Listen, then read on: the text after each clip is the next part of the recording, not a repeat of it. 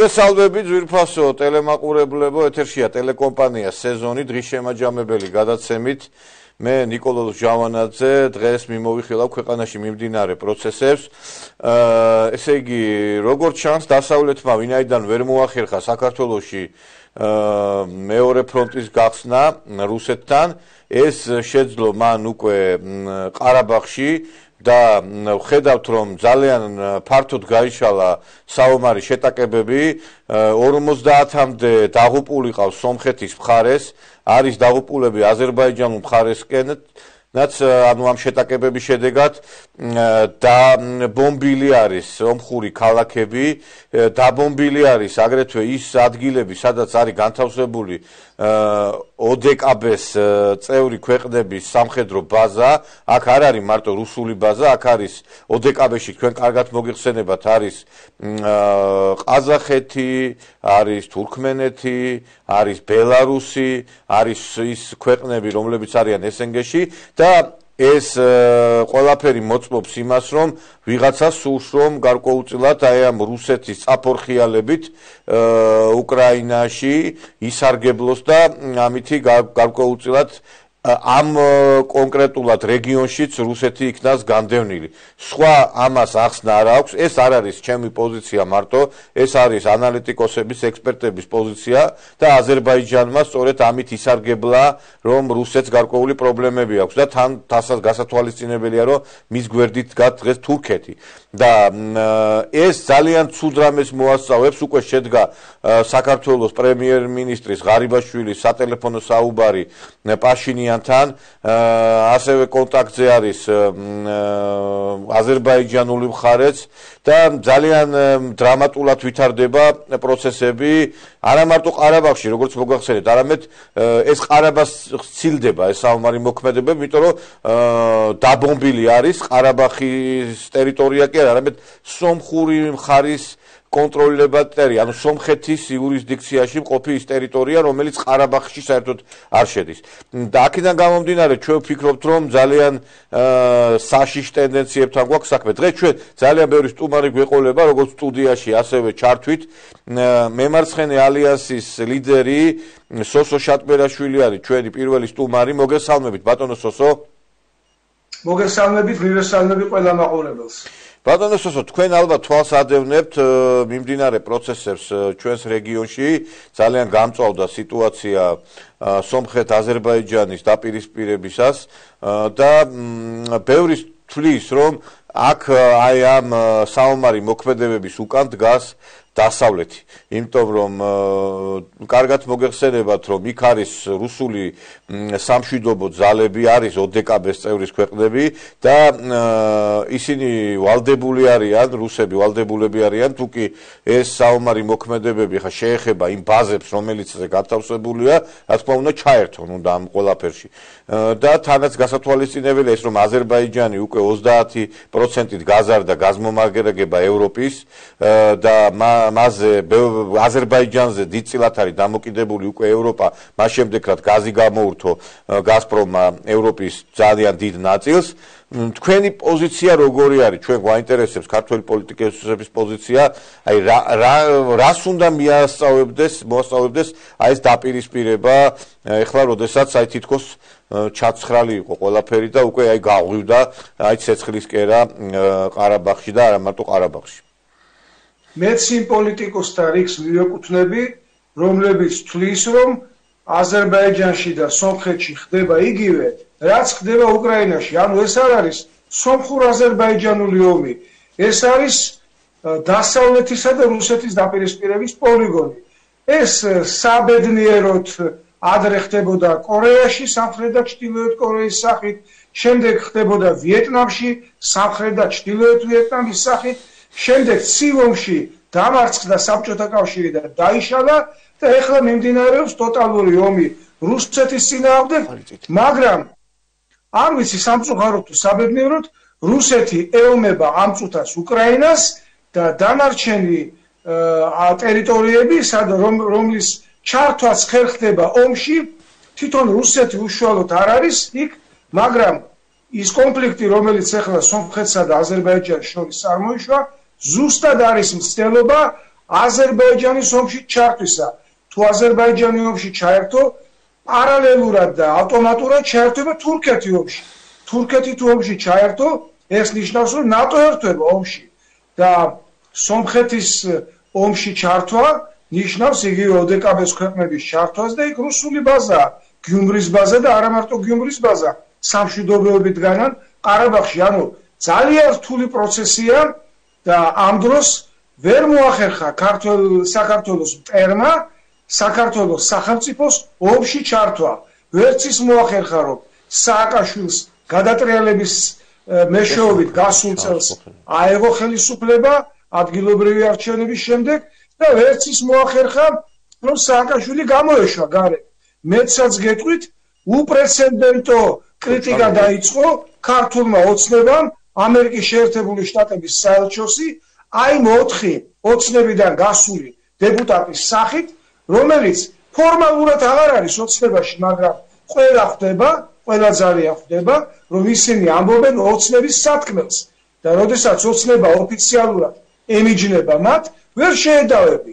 ოცნება ყოველთვის იტყვის რომ რა ვქნა ეს ჩემი პოზიცია არ არის ეს არის ამ ოთხეულის პოზიცია მაგრამ ნამდვილად სინამდვილეში ყველამ კარგად იცის რომ ოთხეულის უკან დგას ოცნება. ისე რომ ჯერჯერობით მადლობა ღმერთს საქართველოს ომში ჩართვა არ ხერხდება თუ ვერ ხერხდება და თუ აი ესეთი პრაგმატული პოლიტიკით იმოქმედებს საქართველოს ხელისუფლება ჩვენ გადავრჩებით იმ სიტუაციაში როდესაც გარშემო ყველა ჩვენი მეზობელი პრაქტიკულად ომშია ჩართული. და ბატონო სოსო თქვენ როგორ ფიქრობთ? აი ხა აი ეს აზერბაიჯანის გააქტიურება ხა და სომხური ქალაქების დაბომბვა. ეს არის დასავლეთის გარკვეულწილად წაქეზების შედეგად თუ ეს ეხლა აზერბაიჯანმა დაიწყო საომარი მოქმედებები, იმიტომ რომ დაინახა რომ რუსეთს დღეს უჭირს. და ფაქტია უჭირს, იმიტომ რომ დაკარგა ის ტერიტორიები, რომელიც უკვე კონდა დაკავებული უკრაინაში, თავდაცვით რეჟიმშია, ანუ შეტევაში კი არ არის, თავდაცვით რეჟიმში ამ წუთას ის უკრაინაში. და თulis რომ ეხლა არის ხელსაყრელი მომენტი, რომ მართლიანად აიღოს ის ყარაბახის ტერიტორია, სადაც და ეხლა სტეპანაკერტი კარგად მოგეხსენებათ, არის სომხეთის დაქვემდებარებაში, არის კიდე იქ რაღაც დასახლებული პუნქტები და აი აქ თქვენ როგორ ფიქრობთ, ეს არის ამ რუსეთის ესე იგი გარკვეული პრობლემების ქონის შედეგად გააქტიურება თუ მე აი მაინც მე ჩემი აზრია რომ თუ დასავლეთი აფათურებს ხელს იმიტომ რომ დის დასავლეთი ჩვენთანაც ცდილობდა აქ რომ მეორე ფრონტი გახსნილიყო და ამას ხელისუფლებაც იძახდა და საუბრობდა რომ ამერიკელები გთხოვდნენო ნუ ეხა ამ 4 დეპუტატის პირით საუბრობდა ოღონდ აი თქვენ რომელ ვერსიაზე რომელ პოზიციას იზიარებთ შეიძლება ორივე პოზიციაც სწორი იყოს იმიტომ რომ პრინციპში ორივე შეიძლება რომ რეალობასთან კონდეს, იმიტომ რომ ერთიც არის და მეორეც ახეზე, ხო? აა მე რა თქმა უნდა ვიზიარებ და თავიდანვე ვფიქრობდი და თავიდანვე მივიჩნევდი ასე რომ ეს ომი არის დასავლეთის მიერ წაქეზებული ომი. ნახეთ როგორ იქცევა დასავლეთი უკრაინელი მაღალჩინოსნების სახით. ყველაფერს აკეთებს. ანუ დასავლეთის სათქმელს ამ შემთხვევაში ლაპარაკობენ უკრაინის რადას დეპუტატები, უკრაინის პრეზიდენტის ადმინისტრაციის წევრები, უშრების საბჭოს თავმჯდომარე და სხვანი და სხვანი. რა თქმა უნდა, პრეზიდენტი უკრაინისას დუმს, მაგრამ ის რომ მან ელჩი გაიწვია აქედან და შემდეგ მოხსნა საერთოდ ელჩი თანამდებობიდან, ამითაც ჩანს უკრაინის პრეზიდენტის პოზიცია საქართველოს მიმართ, ყოველ შემთხვევაში მისი დღევანდელი ხელისუფლების მიმართ და მისი პოზიცია ასევე ჩანს ნაცმოძრაობის მიმართ, როდესაც მან ყველა აქედან გაქცეული კრიმინალი შეიფარა და არა მარტო შეიფარა, მაღალი პოსტებიც დაურიგა. ასე რომ უკრაინის ხელისუფლების სახით დასავლეთი ველაპარაკება ჩვენ, თუმცა საერთოდ საკმარის საკმარისად არის ჩართული და საერთოდ საკმაოდ აქტიურობს ღიად და ასევე ძალიან კარგად იციან დასავლეთში შესწავლილი აქვს აზერბაიჯანის და სომხეთის შორის საუკუნოვანი მრავალ საუკუნოვანი დაპირისპირება თურქეთსა და სომხეთს შორის და აი სწორედ ის ჩააგდო ის ნაპერწკალი ჩააგდო ისე სომხეთსა და აზერბაიჯანს შორის რადგანაც ვერ ეგუება სომხური საზოგადოება ყველამ კარგად ვიცით 30 წელი ყარაბაღი დაკავებული ჰქონდათ, ანუ სომხეთი ამ შემთხვევაში ოკუპანტი იყო, იმიტომ რომ რაც არ უნდა იძახონ ახლა სომხებმა რომ ყარაბაღი სომხეთიაო, საერთაშორისო აღიარებულ ფარგლებში ყარაბაღი ეკუთვნის აზერბაიჯანს. ისე რომ აი ეს კარგად გამოიყენა დასავლეთო ჩააგდო ნაპერწკალი და ამ ნაპერწკლიდან როგორც ნათქვამია ცეცხლი გაგვივდა. ეხლა ამ ცეცხლს რა ჩააქრობს? ამ ცეცხლს რა ჩააქრობს?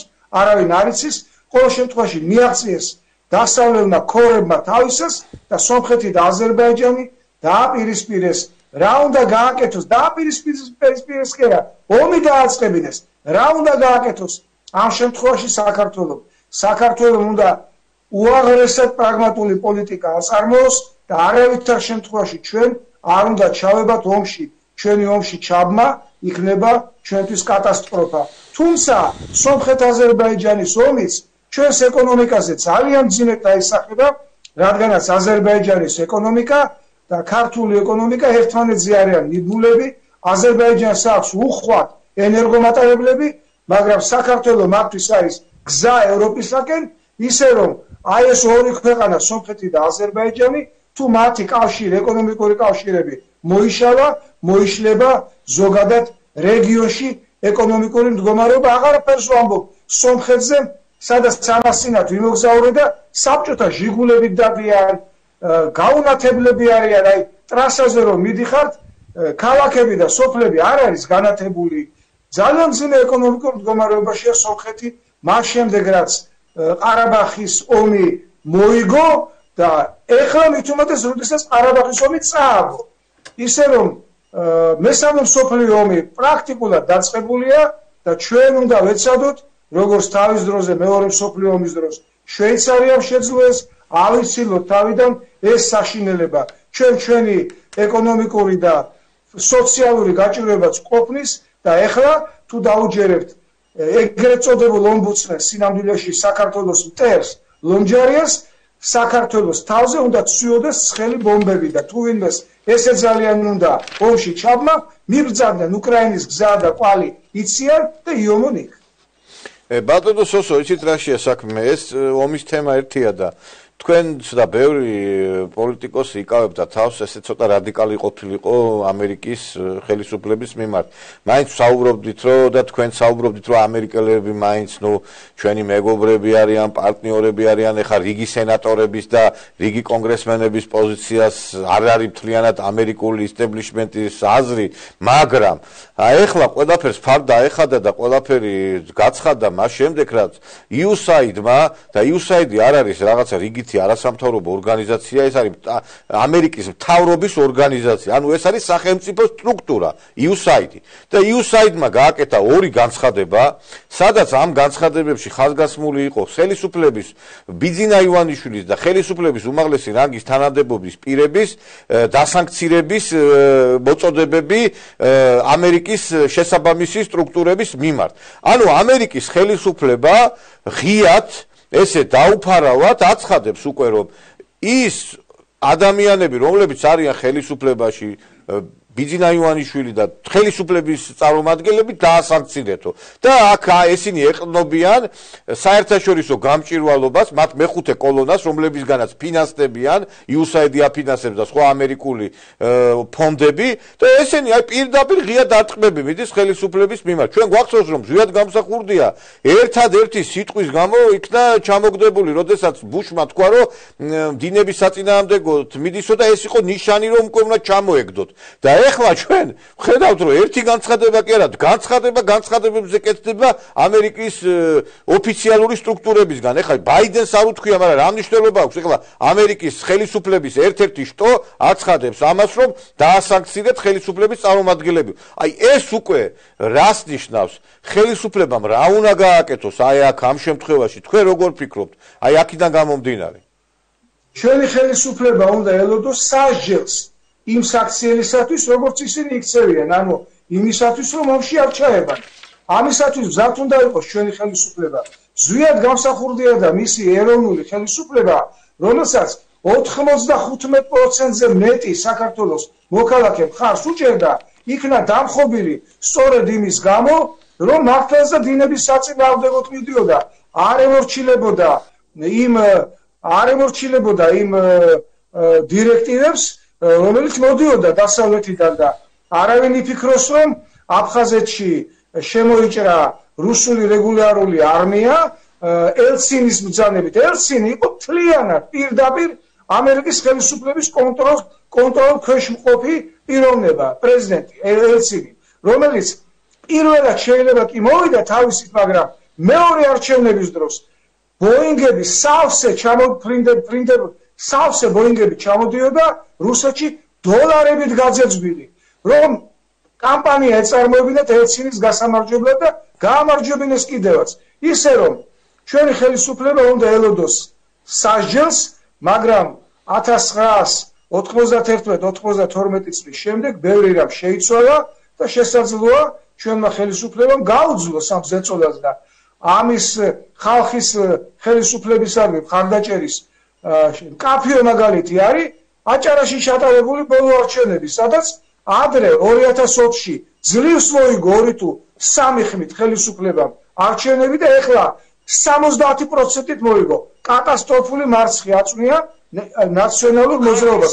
ეს იმას ნიშნავს, რომ ჩვენი ხალხი ემიჯნება ომს და აი ეს რუსი ტურისტების ხაჭაპურში ჩაფურთხება, რუსიის ტურისტების შეურაცხყოფა, ცემაც კი ყველაფერი პროვოცირებულია იმისათვის, რომ მოხდეს საქართველოსი არეულობა და იმ საბაბით რომ ჩვენ ვიცავს ჩვენს მოქალაქეებს რუსეთის არმია შემოიჭრას სამხრეთ ეგრეთ წოდებული სამხრეთ ოსეთიდან გადაკეტოს ეგრეთ წოდებული ავტობანი, სიამბეში ავტობანი არ არის ეს ჩხაროსული ტრასა, გადაკეტოს ავტობანი, მოწყვიტოს დასავლეთი და აღმოსავლეთი საქართველოს ერთმანეთს და გამოიწვიოს ქვეყანაში საშინელი კრიზისი.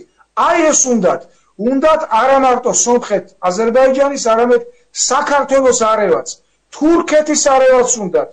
იმის შემდეგ რაც პრეზიდენტ ერდოღანს უწყობდნენ სახელმწიფო გადა სამხედრო გადატრიალებას, ის რომ არ გაეფრთხილებინა რუსეთის დაზვერვას, დღეს გადაყენებული იქნებოდა პრეზიდენტი ერდოღანი და იქ პრო ამერიკული მთავრობა იჯდებოდა. ვერც თურქეთში მოახერხეს ვერაფერი თუმცა სირია და თურქეთი დღესაც დაპირისპირებულები არიან. მოკლედ ძალიან ფეთქებად საშიშ სიტუაციაში. ვართ და კიდევ ერთხელ ვიმეორებ ჩვენ გვმართებს თლიანად ქართულ ხალხს და მის დღევანდელ ხელისუფლებას მოგწონს თუ არ მოგწონს ეს ხელისუფლება პრაგმატული ნაბიჯების გადადგმა უაღრესად ბრძნული ნაბიჯების გადადგმა იმისათვის რომ ჩვენ თავიდან ავიცილოთ საშინელი კატასტროფა რომელიც ფაქტურად დაწყებულია ჩვენ სამეზობლოში. დიდი მადლობა ბატონო სოსო, დიდი მადლობა და იმედია რომ მართლაც არ განვითარდება დრამატული სცენარი ჩვენს მეზობელ ქვეყნებში ვითარება. დიდი მადლობა. ჩვენი დავიტოვოთ, იმედი დავიტოვოთ და მადლობა ჩართვისათვის ბატონო ნიკო. დიდი მადლობა ბატონი სოსო შადბერაშვილი იყო ჩვენი გადაცემის სტუმარი, მემარცხენე ალიანსის ლიდერი. ჩვენ ახლა სტუდიაში გადმოვინაცვლებთ და ჩვენ სტუმართან ერთად ბატონი ვაჟა უთარაშვილი არის ჩვენი გადაცემის სტუმარი, ასევე მოგესალმებით ბატონო ვაჟა და ბატონო ვაჟა თქვენ ალბათ ადევნებთ თვალყურს რა ხდება აგერ ჩვენთან, აგერ ყურის ძირში, ესე იგი დაღუპულია უამრავი ადამიანი, საომარი შეტაკებები მიმდინარეობს კიდევ რაღაცა გარკვეული შენელება იყო ფრონტის ხაზზე, მაგრამ ყარაბაღში კლავაც მიმდინარეობს სროლები. ჩვენ აი ხა პატონსოსოსთან საუბრისას გამოთქვი ჩვენი ვარაუდები თუ აი რა შეიძლება ეს რისი ბრალი იყოს. მე პირადად ესეთი პოზიცია მაქვს და ეს ჩემი პოზიცია არ არის ერთადერთი, იმიტომ რომ ამ პოზიციას ბევრი ექსპერტი იზიარებს როგორც საქართველოსში, ასევე უცხოეთში, რომ ეს არის დასავლეთის გარკვეული მაპროვოცირებელი, იმიტომ რომ აზერბაიჯანი თავისით ამ გადაწყვეტილებას ვერ მიიღებდა და ჩვენ კარგად ვიცით რომ ყველანაირად ცდილობს დასავლეთი რომ რუსეთი დაასუსტოს. ჯერ სანამ კიდე უკრაინაში ომი დაიწყებოდა, ჩვენ კარგად გვახსოვს რომ ასეთი საომარი მოქმედებების ესე იგი შექმნის ცელობა იყო ბელარუსში, სადაც არჩევნები ჩატარდა, კარგად გახსოვთ მინსკში, როდესაც ლუკაშენკომ გამოაჩინა თავისი ნამდვილი მებრძოლი ხასიათი და არ დაუთმო ხელისუფლება. მერე შემდგომ ეს ვითარება შეიქმნა ყაზახეთში, როდესაც იქაც ძალიან სისხლიანი დაპირისპირებაში გადაიზარდა და ფაქტობრივად სავარაუდოდ ქალაქები იქნა აღებული და რომ არა რუსის ჯარის შესვლა იქნა ოდეკაბეს ეგიდით ოღონდ იქ იქ ძალიან ცუდად წავიდოდა საქმე. ანუ იქაც ვერ მოხერხდა ომის გაჩაღება. და რუსეთისთვის რაღაც პრობლემები შექმნა მე დაიწყო ეს საომარი მოქმედებები უკრაინაში. მე დავინახეთ რომ ხელისუფლების განცხადებები აქ რომ მეორე ფრონტი გახსნილიყო რომ უკრაინელებს ცოტა ამოესუნთქათ. ეხლა მიმდინარეობს ასევე ოპერაცია რომ ყარაბაღში სადაც არის რუსული ბაზები ოდეკაბეს წევრის ბაზები იქ იქ მოხდეს რაღაცა გარკვეული გადატანა ყურადღების. ეხლა უკრაინელებისთვის არის სასიცოცხლო რომ ფრონტი გაიშალოს. ანუ მარტო უკრაინაზე არ იყოს კონცენტრირებული რუსეთი, იმიტომ რომ ძალები გადაისროლოს მან ასევე ყარაბაღისკენ და ამით გარკვეული დასუსტება იქნება მათი პოზიციების. თქვენ როგორ ფიქრობთ? აი თქვენ რა ვერსიას ეყნობით? რატომ გაჩაღდა ომი ყარაბაღში და არა მარტო ყარაბაღში? მოგესალმებით. აა ჩემი აზრით ბუნებრივია რომ სომხეთ აზერბაიჯანის ეს კონფლიქტი რომელიც უკვე ფართო მასშტაბიან ომში გადაიზარდა დასავლეთის და ამერიკის შეერთებული შტატების წაქეზებით მიმდინარეობს. აა მაშინაც, როდესაც აა როდესაც 1987 წლის სექტემბერში 88 წლის და 99 წელს დაიწყო და გაღვივდა აა ყარაბაღის და კონფლიქტი მაშინაც დასავლეთის ძალები იყვნენ ეს ის პერიოდი იყო როცა საბჭოთა კავშირის დაშლის პროცესს უწყობდა ხელს დასავლეთი და ზუსტად ასეთი კონფლიქტები ეთნიკურ ნიადაგზე კონფლიქტები და მათი ფართო მასშტაბით გავრცელება აწყობდა.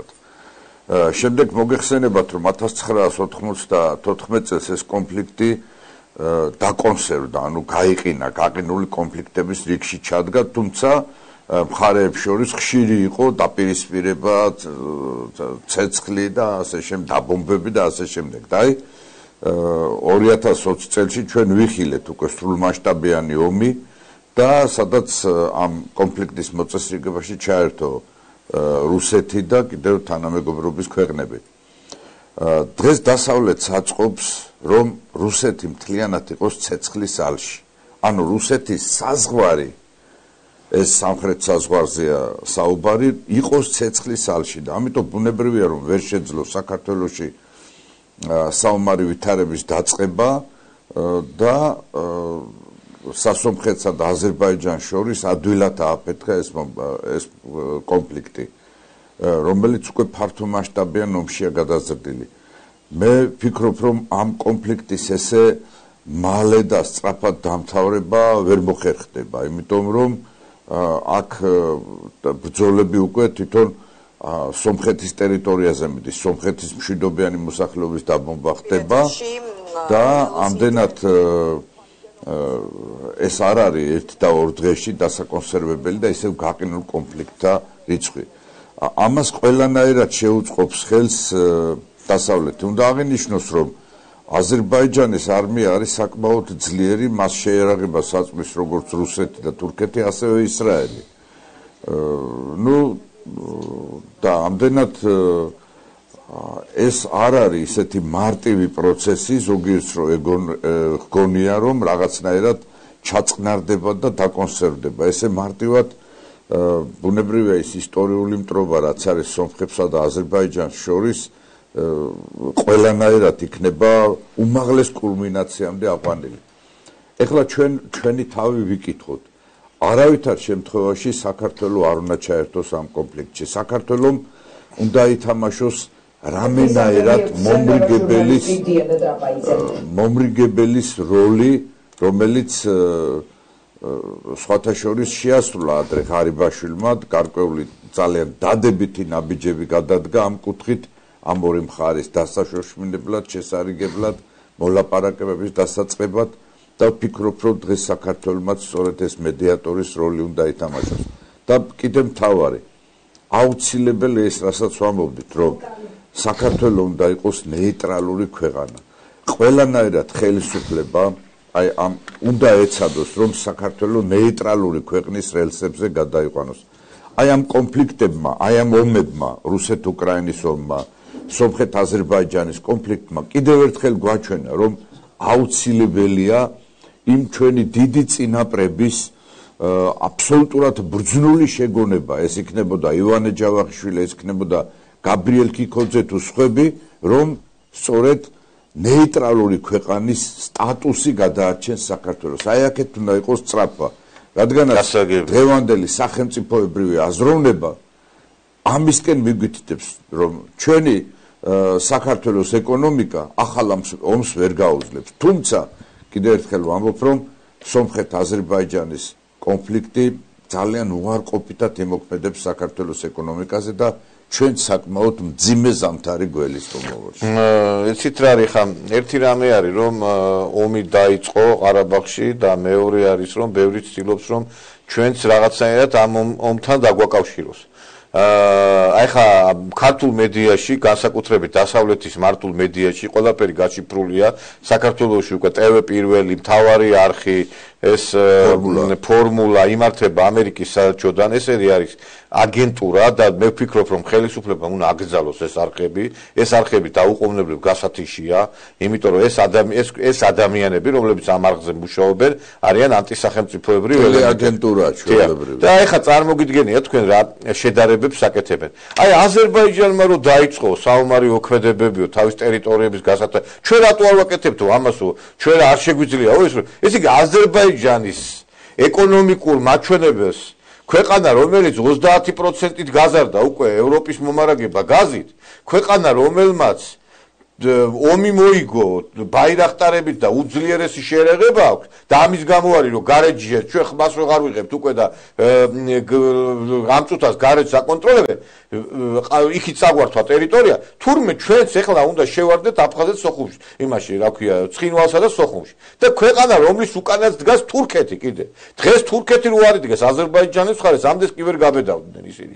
და აი ამას ეხლა აი აცხადებენ ეს უცხოთ აი მე ხა მოგასმენინებთ ამას მიშველიებენ ექსპერტების პოზიციას რომ თურმე აღაცა ჩვენ თავდაცვის ბიუჯეტი არა გვაქვს.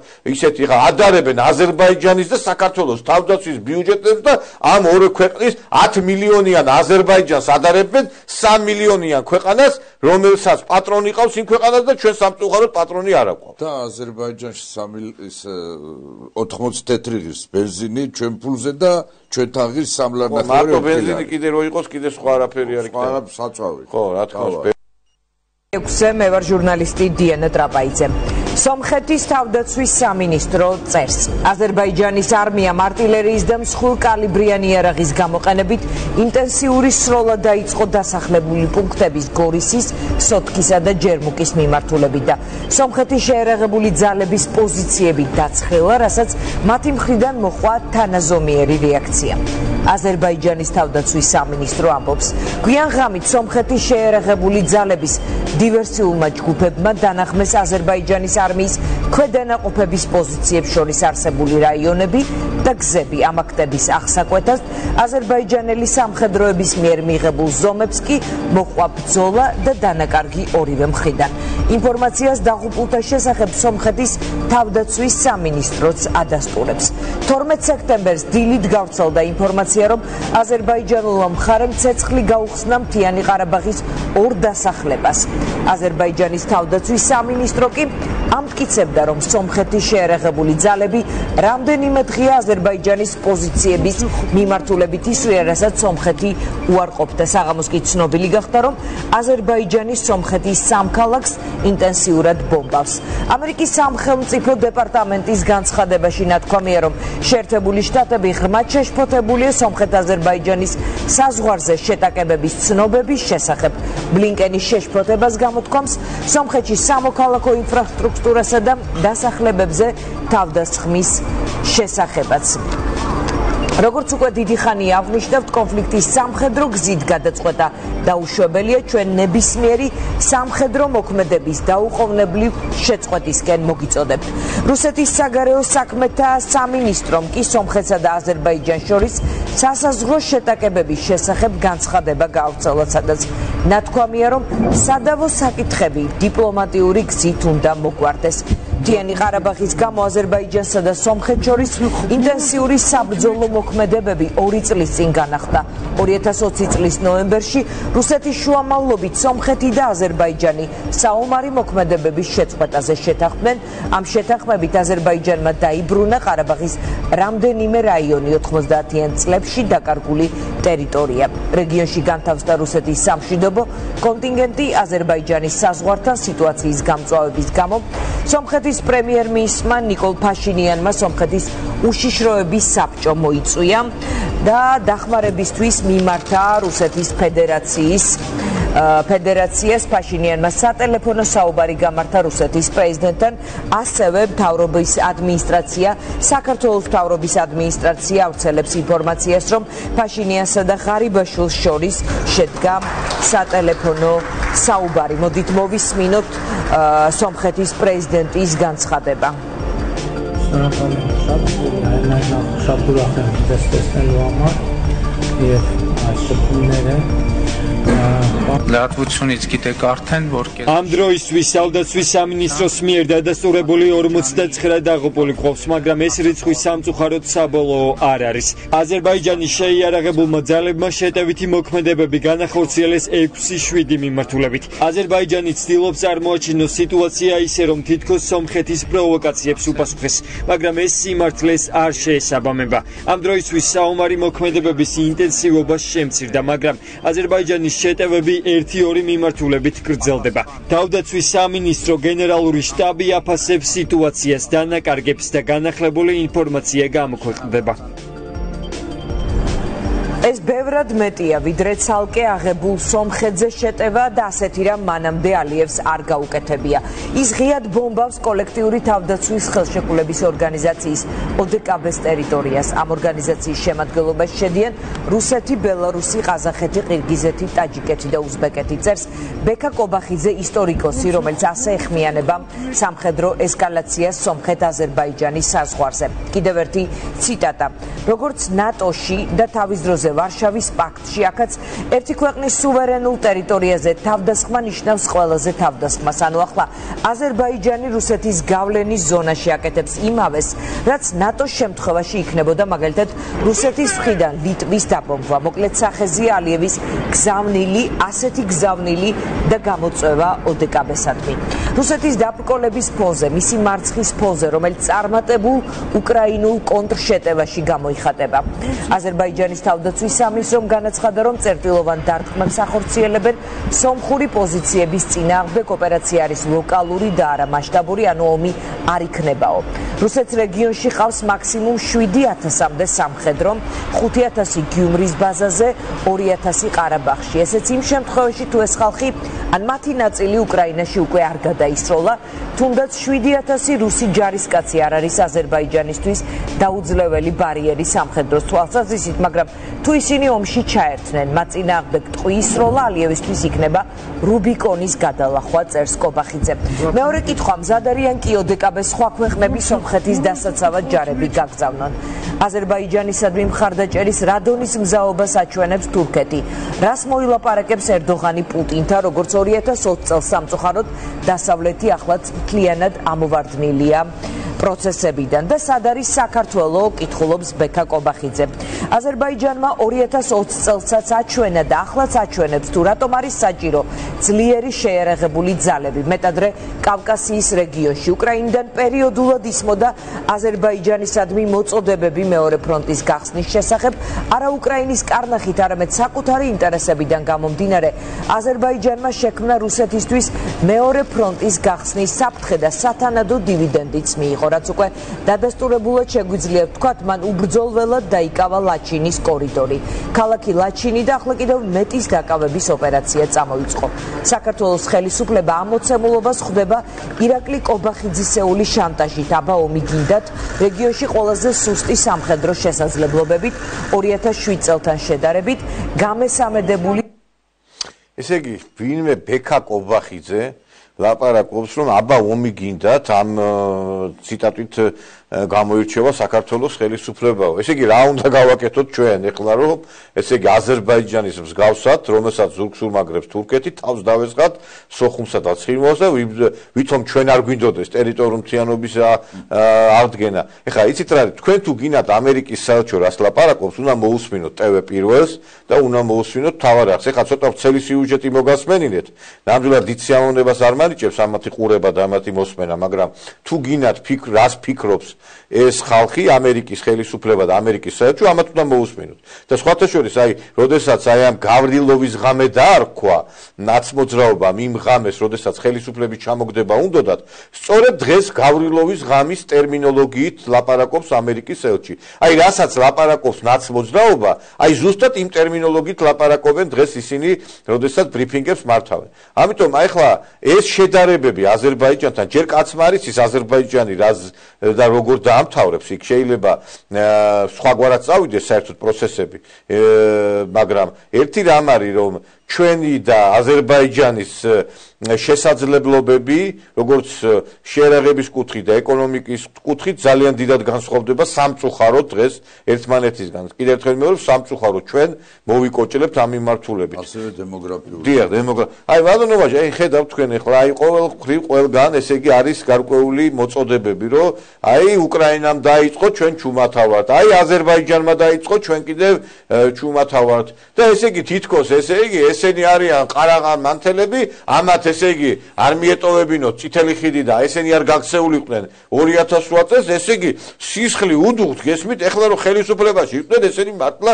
თითქოს აფრიებდნენ სოხუმსაც ხინვალში დროშას. აი წარმოგიდგენია თქვენ ამათ უტიფრობას და ამათ ესე იგი თავგასულობას და ამერიკის შეერთებული შტატების აი დივერსიებს რომლებიც აი საინფორმაციო საშუალებები რომელიც მათგან კონტროლდება და მათი მათი გარკვეული დაფინანსებით ხდება რუპორები და აი რა ვიცი აი მე მგონი რომ ხელისუფლება არ უნდა წამოეგოს ამ ყველაფერს, იმიტომ რომ ვერ შეიძლება რაღაცა გარკვეულწა დაყვეს ამ პროვოკაციასაც, მაგრამ არ ამგონია მე რომ ესეთი ადამიანები ყავდეს დღეს ჩვენ თავრობაში. არ ამგონია რომ ეხლა ჩვენი ომში ან კიდე საომარი რომელიმე მხარის დაჭერა ჩვენთვის იყოს მომგებიანი. კიდე ერთხელ ვაცხადებ რომ ნეიტრალიტეტი არის საქართველოს იდეალური მდგომარეობა როგორც რეგიონში, ისე მსოფლიოში. ჩვენ თუ დავაკვირდით ამერიკის შეერთებული შტატების სახელმწიფო დეპარტამენტის განცხადებას, მხოლოდ შეშფოთებას გამოთქვავენ, ღრმა შეშფოთებას გამოთქვავენ, სწრაფ შეშფოთებას და სხვადასხვა ეპიტეტები ამ შეშფოთების. არის ღრმა, არის ნახევრად ღრმა, სწრაფი ოპერატიული შეშფოთება და ასე შემდეგ.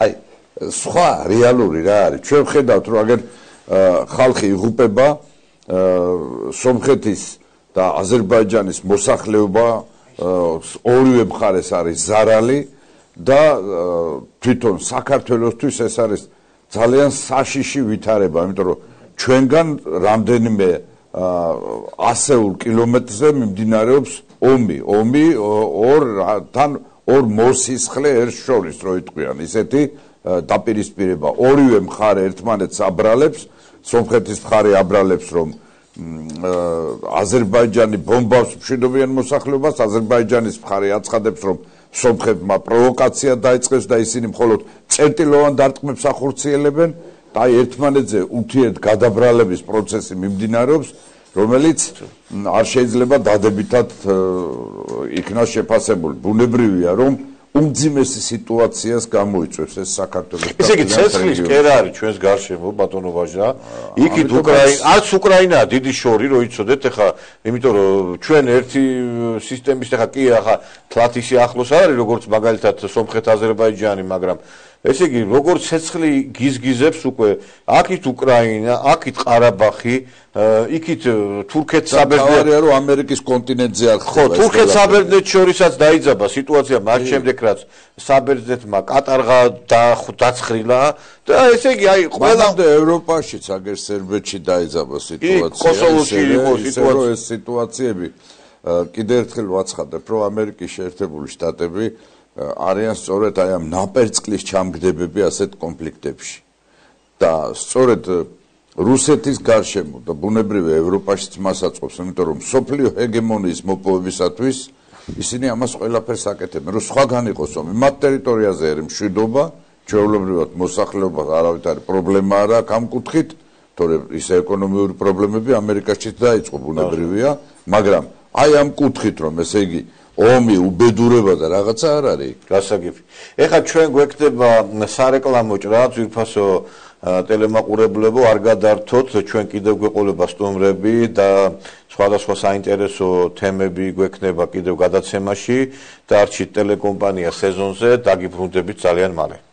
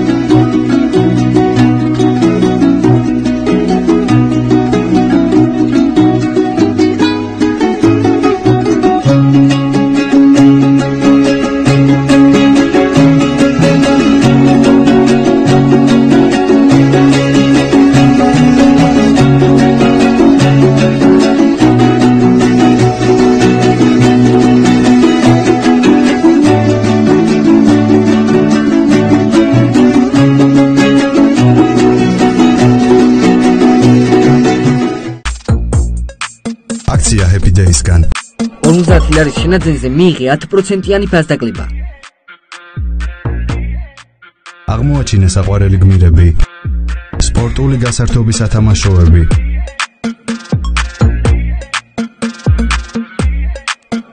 გაუცოცხლეთ ბავშვებს ფანტაზია, საკოლექციო მანქანები, ყველაფერი რაც ბავშვებს გაახალისებს. გაერთე საყვარელ გმირებთან.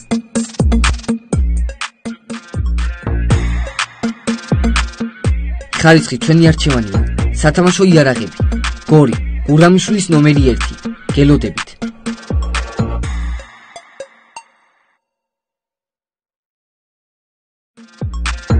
სათამაშოების მაღაზია Happy Day. ტელეკომპანია სეზონი წარმოგიდგენთ.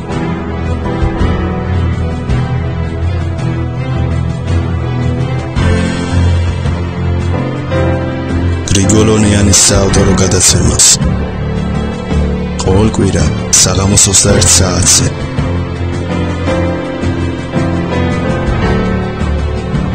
კვირას გრიგოლ ონიელთან. სპორტის მოყვარულები კრივის სეზონს ჩაუჯექით. ლევან ქერდიყოშვილი ყოველ შაბათს 19 საათსა და 00 წუთზე მოგიყვებათ კრივის სიახლეებს.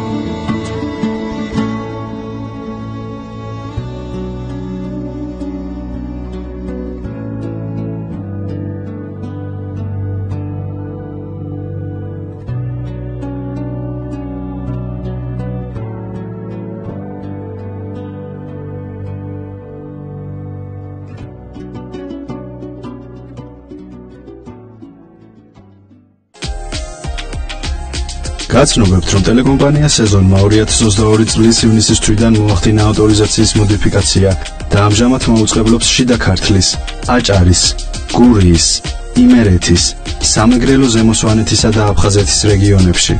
შეგახსენებთ, რომ ტელეკომპანია სეზონი მთელი საქართველოს მასშტაბით მაუწყებლობს მაგთის 77 არხზე, ასევე myvideo.gz-ზე.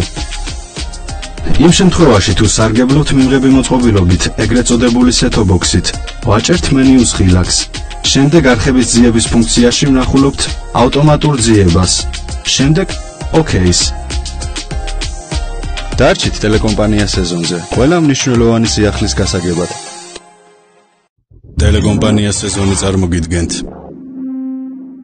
ეს უნდა იცოდე, ვინ უჭერს მხარს საქართველოსში გარყვნილებისა და სოდომიზმის პროპაგანდას.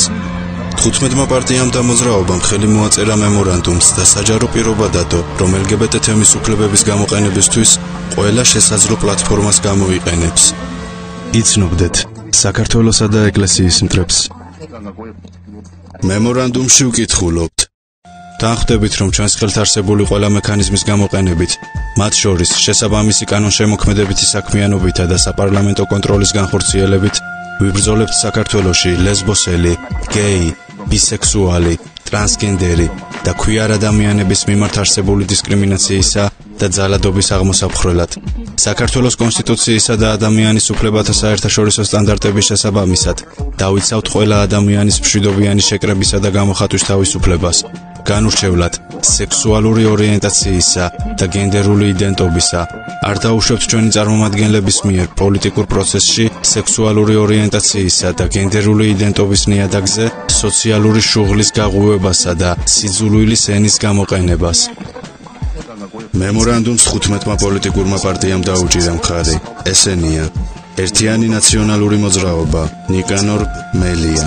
მეზღება შესაძლებლობა მიულოცო ჯობის დღესასწაული თელს საქართველოს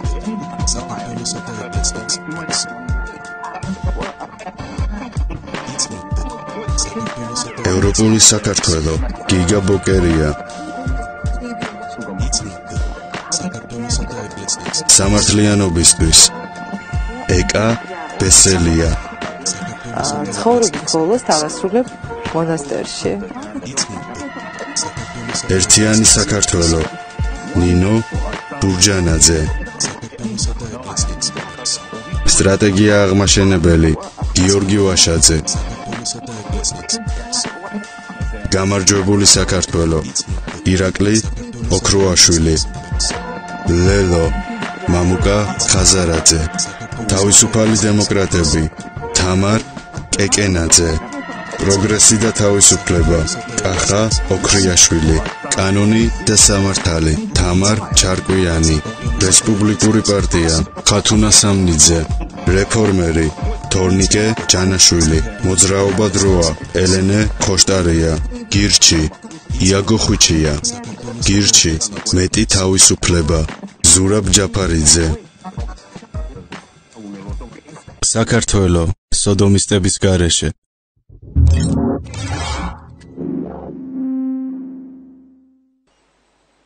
ვაგრძელებთ მაუწყებლობა ძვირფასო ტელემაყურებლებო ტელეკომპანია სეზონით ღირშემაჯამებელი გადაცემით მე ნიკოლოზ ჟავანაძე დღეს ჩვენ გვყავს ძალიან საინტერესო სტუმარი ასევე პოლიტოლოგი პროფესორი ქალბატონი თამარ კიკნაძეა ჩვენი გადაცემის სტუმარი. მოგესალმებით ქალბატონო თამარ. მოგესალმებით. მივესალმებით თქვენ ტელემაყურებლებს ყოველთვის სასიამოვნო თქვენი ხილვა ჩვენს გადაცემაში. და პირველ რიგში ქალბატონო თამარ მინდა დავიწყო თქვენთან საუბარი აი ამ კონფლიქტის გაჩაღებით.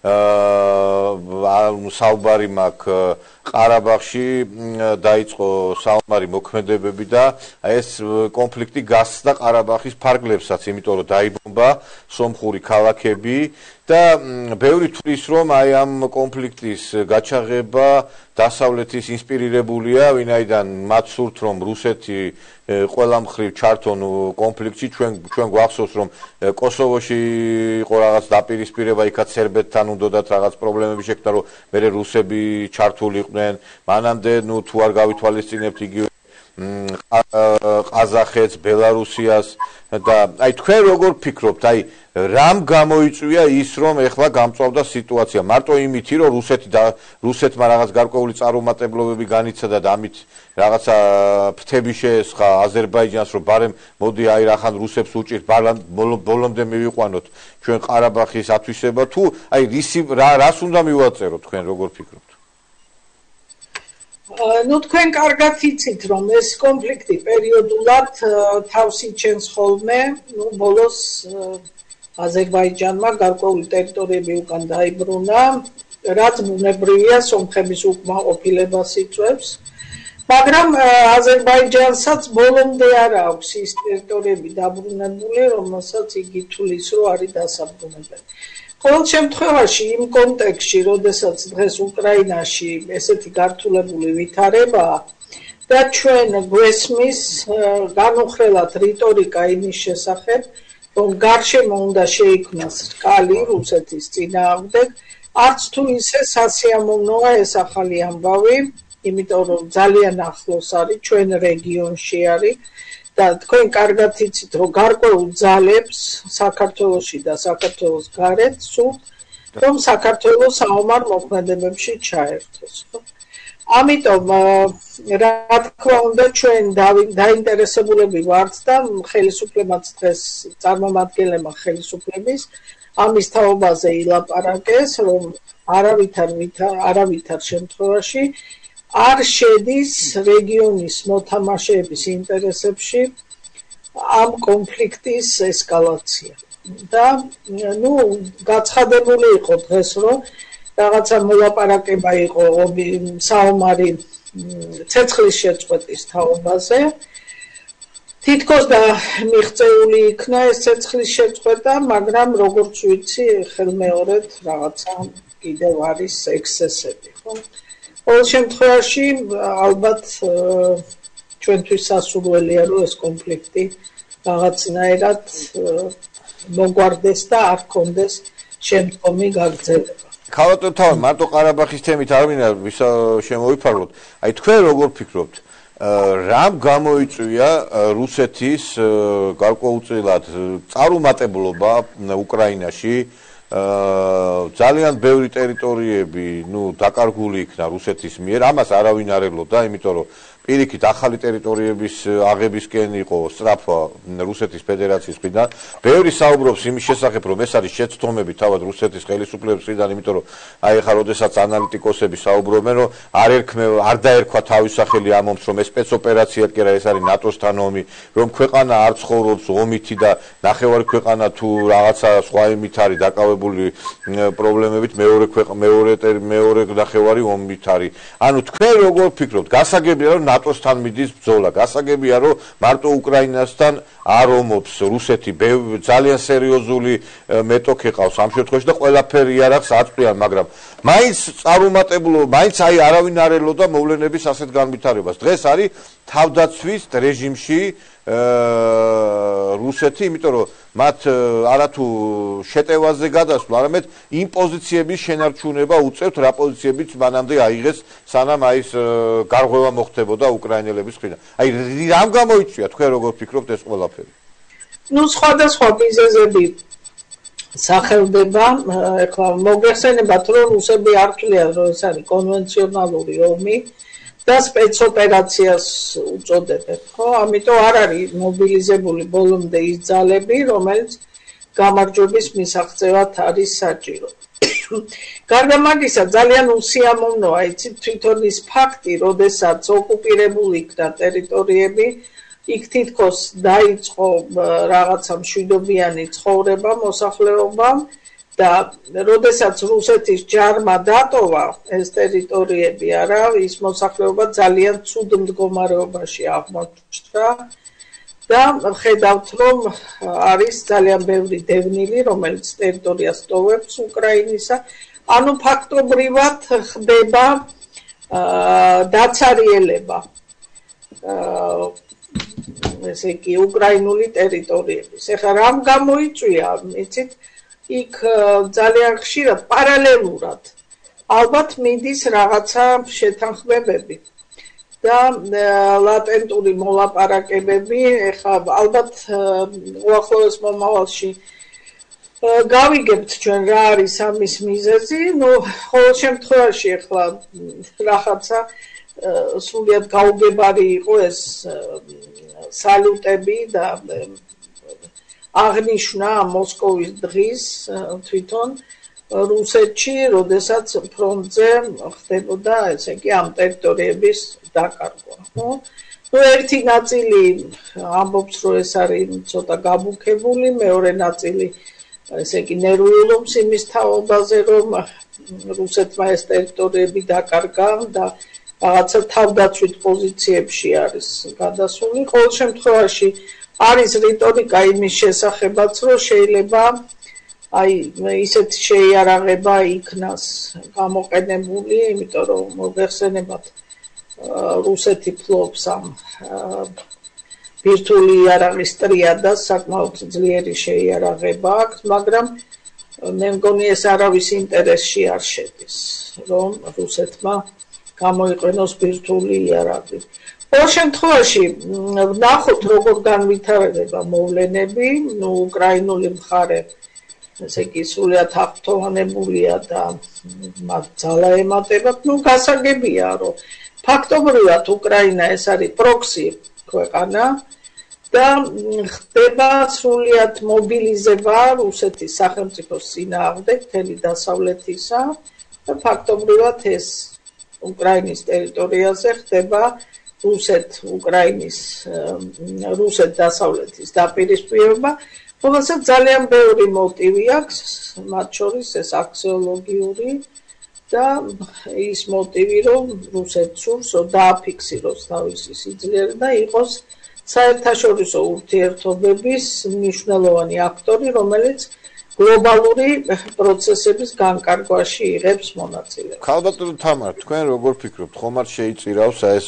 წარუმატებლობა თავად რუსეთის ხელისუფლებას, იმიტომ რომ უკვე მე უსმენდი სამთავრობო არხებზეც კი ისმის უკვე კრიტიკა ხელისუფლების, აი მაგალითად სალავიულ ლაივის გადაცემაში გამოდიოდნენ იქ ექსპერტები, ეს არის ცენტრალური არხი, სამთავრობო არხი და ეხლა ნუ აი ეს წარუმატებლობა ახსნეს იმითი, რომ ხელისუფლების წარმომადგენლო ჩვენ გადაადგილება მოვახდინეთო ძალები ისო დონეცკის მიმართულებით, რომ ეს ტერიტორიები დაგვეცავ. და ეხლა ამბობენ ესენი დაიშვა, ეხლა იქნება დონეცკიდანაც გავიყვანოთო ძალები და ანუ გადაადგილება ლუგანსკისკენ წავიღოთო, ან ყირიმისკენო, ანუ მე საუბრობენ იმის შესახებაც, რომ რაღაცა გარკვეული არასწორი მოქმედებებია მაგალითად კადიროვი დაუპირისპირდა თავდაცვის სამინისტროს თქვა რომ ესე არ უნდა წარიმართოს ომიო და არ ვეთანხმებიო და ანუ რაღაცა აჯაფსანდალი იქნება თითქოს გესმით? ახლა ესეთი რაღაცა დაპირისპირებები, რაღაცა ბრალდებები ისმის და თან ეს ცენტრალურ არხებზე უყურებთ ამ ყველაფერს და აი რაღაცა ცოტა თლათ რაღაცა გადა ხო არ ფიქრობთ რომ რაღაცა იქ შეიძლება მოხდეს მართლა. ნუ ერთი არის ცხადი რომ თუ რუსეთი ამ ომში დამარცხდა რა ალბათ რაც თქვენ ძანეთ ესე იგი ხელისუფლების ცვლილებაც მოყვება ამას და საერთოდ რუსეთის როგორც სახელმწიფოს არსებობას სერიოზული პრობლემა შეექმნება.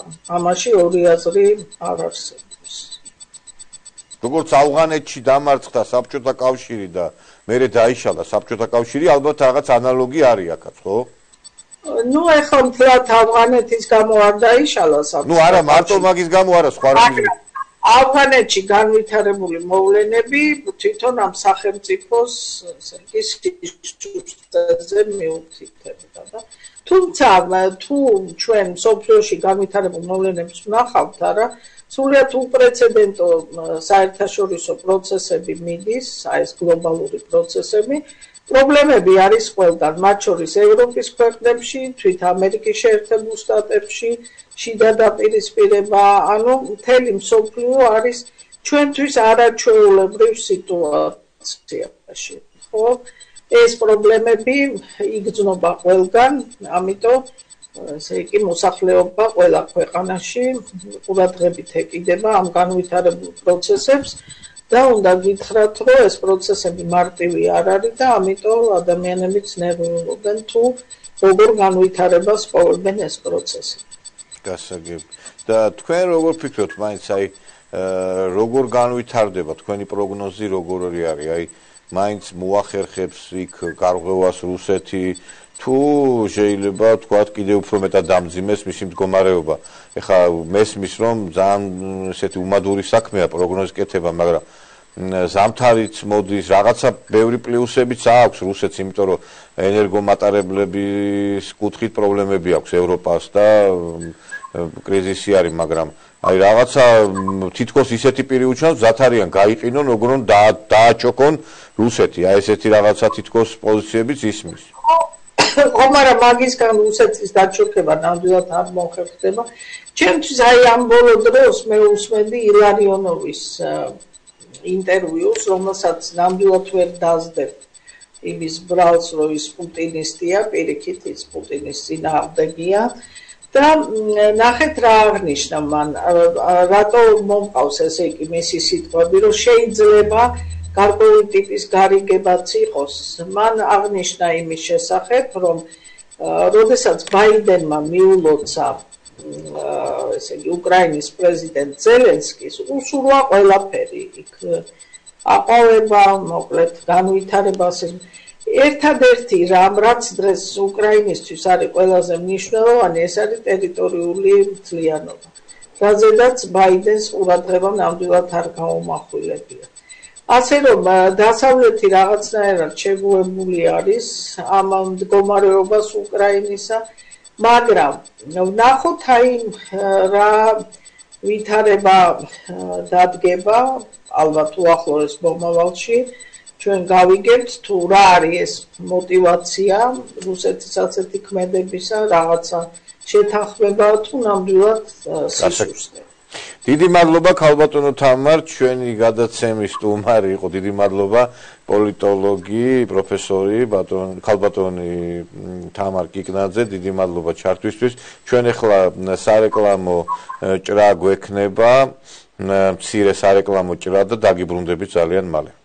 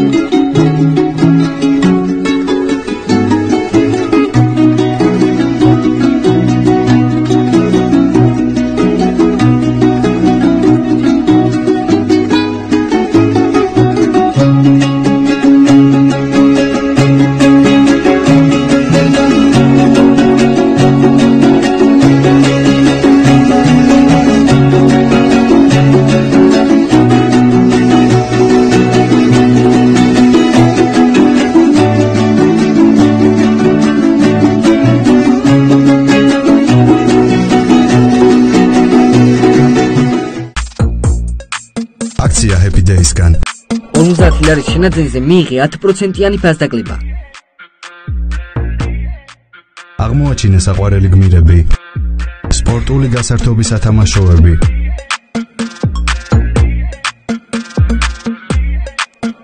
გაუცოცხლეთ ბავშვებს ფანტაზია, საკოლექციო მანქანები, ყველაფერი რაც ბავშვებს გაახალისებს.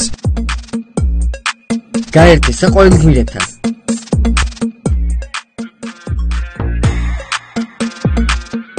ხარიცხი ჩვენი არჩევანია. სათამაშო იარაღები. გორი, გურამიშვილის ნომერი 1. გელოდებით.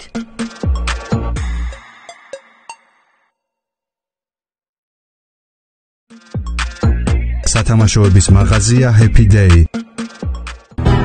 ტელეკომპანია სეზონი წარმოგვიდგენთ.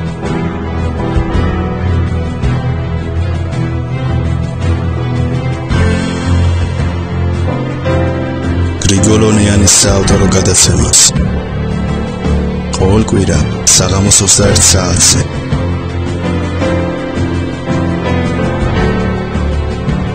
კვირას გრიგოლ ონიელთან სპორტის მოყვარულები კრივის სეზონს ჩაუჯექით. ლევან ქერდიყოშვილი ყოველ შაბათს 19 საათსა და 00 წუთზე მოგიყვებათ კრივის სიახლეებს.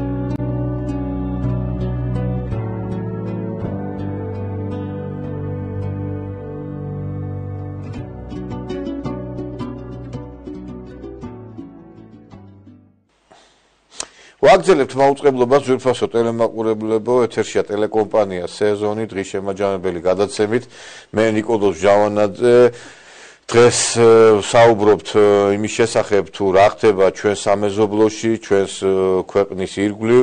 დღეს ძალიან ბევრი სტუმარი გვყავს ეთერში, იმიტომ რომ ძალიან გვაინტერესებს ჩვენი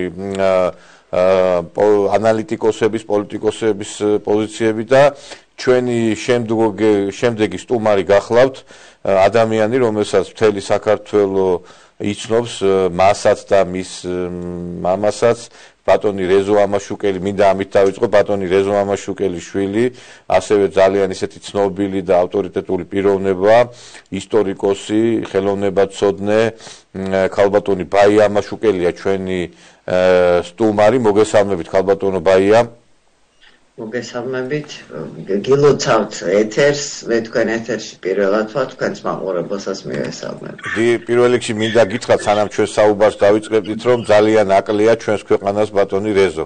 მისი შემართება, მისი პოზიციები ბატონი რეზოსნაირად ნამდვილად ვერავინ ვერ საუბრობს, მას გამორჩეული ნიშა ქონდა და ძალიან გულსატკენია, რომ წავიდა ამ ქვეყნიდან დღეს ნამდვილად ჭირდება და ჭირდება ქვეყანას ბატონი რეზოსნაირი ადამიანები და გულსატკენია რომ ნამდვილად ვეღარ ვისმენთ მის პოზიციებს ქვეყანაში მიმდინარე პროცესებთან დაკავშირებით და მინდა რომ ქალბატონო ბაია ჩვენ აი შევეხოთ ამ თემას, რომელიც ვითარდება, ეხლა ცხელი თემა არის ეს სომხეთ აზერბაიჯანის დაპირისპირება ყარაბაღში.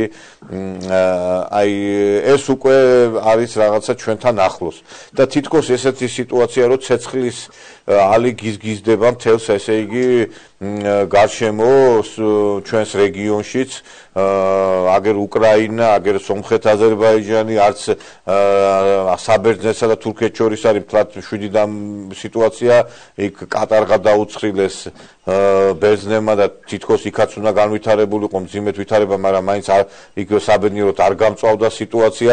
თქვენ როგორ ფიქრობთ? აი ამ ყარაბაღში განვითარებული პროცესები რას უკავშირდება? აი საითკენ მიდის? ანუ ეს არის დასავლეთის მორიგი ავანტიურა, რომ კიდევ ახალი ფრონტი გაიხსნას რუსეთის წინააღმდეგ თუ აზერბაიჯანელებმა დროი ხელთეს რუსეთის დასუსტებით და ცდილობენ მთლიანად აღიდგინონ ესე იგი მდგომარეობა ყარაბაღში, ანუ ის ტერიტორიებიც აითვისონ, რომელიც არ არის მათ დაქვემდებარებაში ამ წუთას.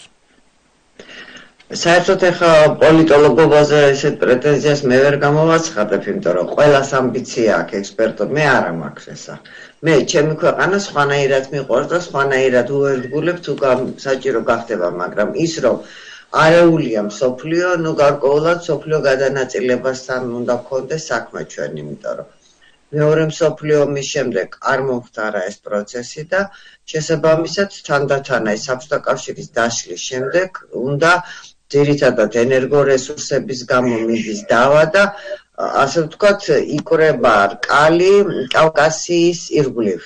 რომ კავკასია ეხა მე შევახსენებ მაყურებელს, ჯერ კიდევ ზიგნე ბრეჟინსკი ამბობდა, რომ ვინც ფლობს ევრაზიას, ის ფლობს სოფლიოს, ჩვენ ვართ ევრაზიის გასაყარზე და ფაქტიურად წარმოადგენთ ჭიპს კავკასიის და თავის დროზე წამყვანი როლი გქონდა და სხვანაირად ვანაწილებდით და ხემძღვანელობდით ასე ვთქვათ რეგიონში ვითარებას და საქმეს და კიდევაც ეს თქვენს გეხსოვებათ იგივე ფაშისტური გერმანიის დროს ხო ჰიტლერმა იალბულზე ედელვეისი გაგზავნა და აღმართეს იქ დროშა და იმ წუთშივე სტალინმა გააგზავნა იქ თავსურელები და ალპინისტები რომ ის დროშა ჩამო ანუ ეს გასაყარი საქართველოს ძალიან მნიშვნელოვანი სტრატეგიულად და ის რომ საქართველოს ჩართრევა უნდა ომში და ჩვენს ირგვლივ იყრის ეს პრობლემები თავს ეს სამხრეთ აზერბაიჯანის ისის გარკვეულად ამ სოფლიო გადანაწილების ერთ-ერთი პროცესი არის. შემადგენელი ნაწილია ამიტომ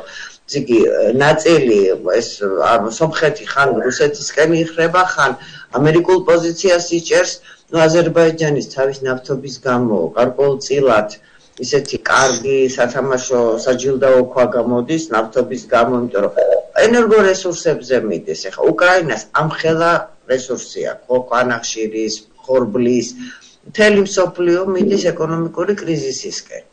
ну, შესაბამისად ჩვენც და ამიტომ ეს ვითარება უკრაინისაც, რომ აი რუსეთი მოაქციონ გარკვეულად საზღვართან აქედან ჩვენ, იქედან უკრაინა. ხო, ეს უნდა რაღაცნაირად მასში მოაქციონ სალტეში და მოგვიდონ, მაგრამ რუსეთს დასუსტების ჯერჯერობით მე თუ მკითხავთ, არაფერი ეთყობა, მე სხვა რაღაც არხებსაც უყურებ, სხვა წყაროებიც მაქვს და ამ ჩვენ რაღაცა ფეიქორ მედიაზე არა ვარ დაყნობილი, იმიტომ რომ არ შეიძლება ესეთი ტყუილებით გაბერო საზოგადოება, როდესაც პრეტენზია აქვს ობიექტური მედიის. ეს ცალკე თემაა, ჩვენი მედიის თემა და ჟურნალისტების, რომელიც მე პირადად მიმაჩნია, რომ არის ოფიციალური რეზიდენტურა.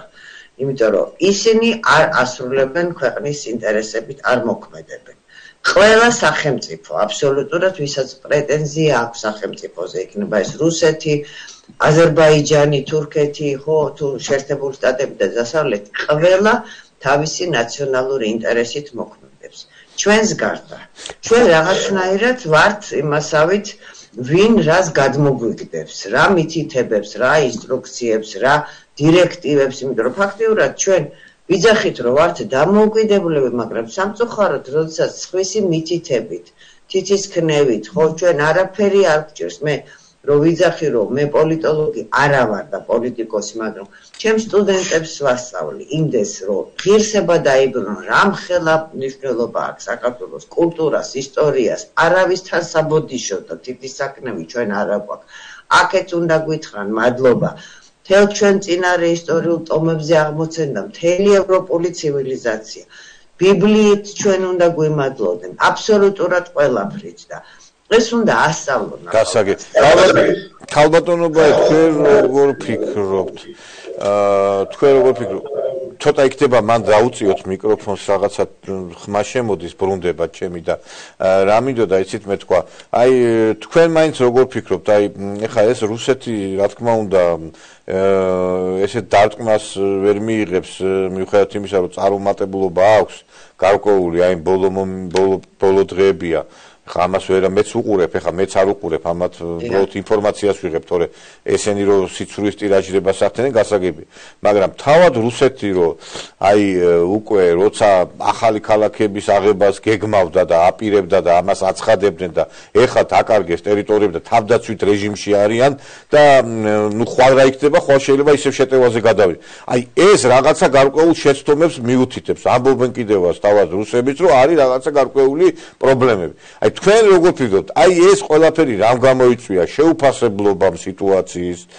თვითონ რაღაცა გარკვეული შეთქმულებაც ხო არ არის? ეხლა სტალინმა მაგალითად სამამულო ომის ანამ დაიწყებოდა ნახევარი არმია გაწმინდა დივერსანტებისაგან, ხო?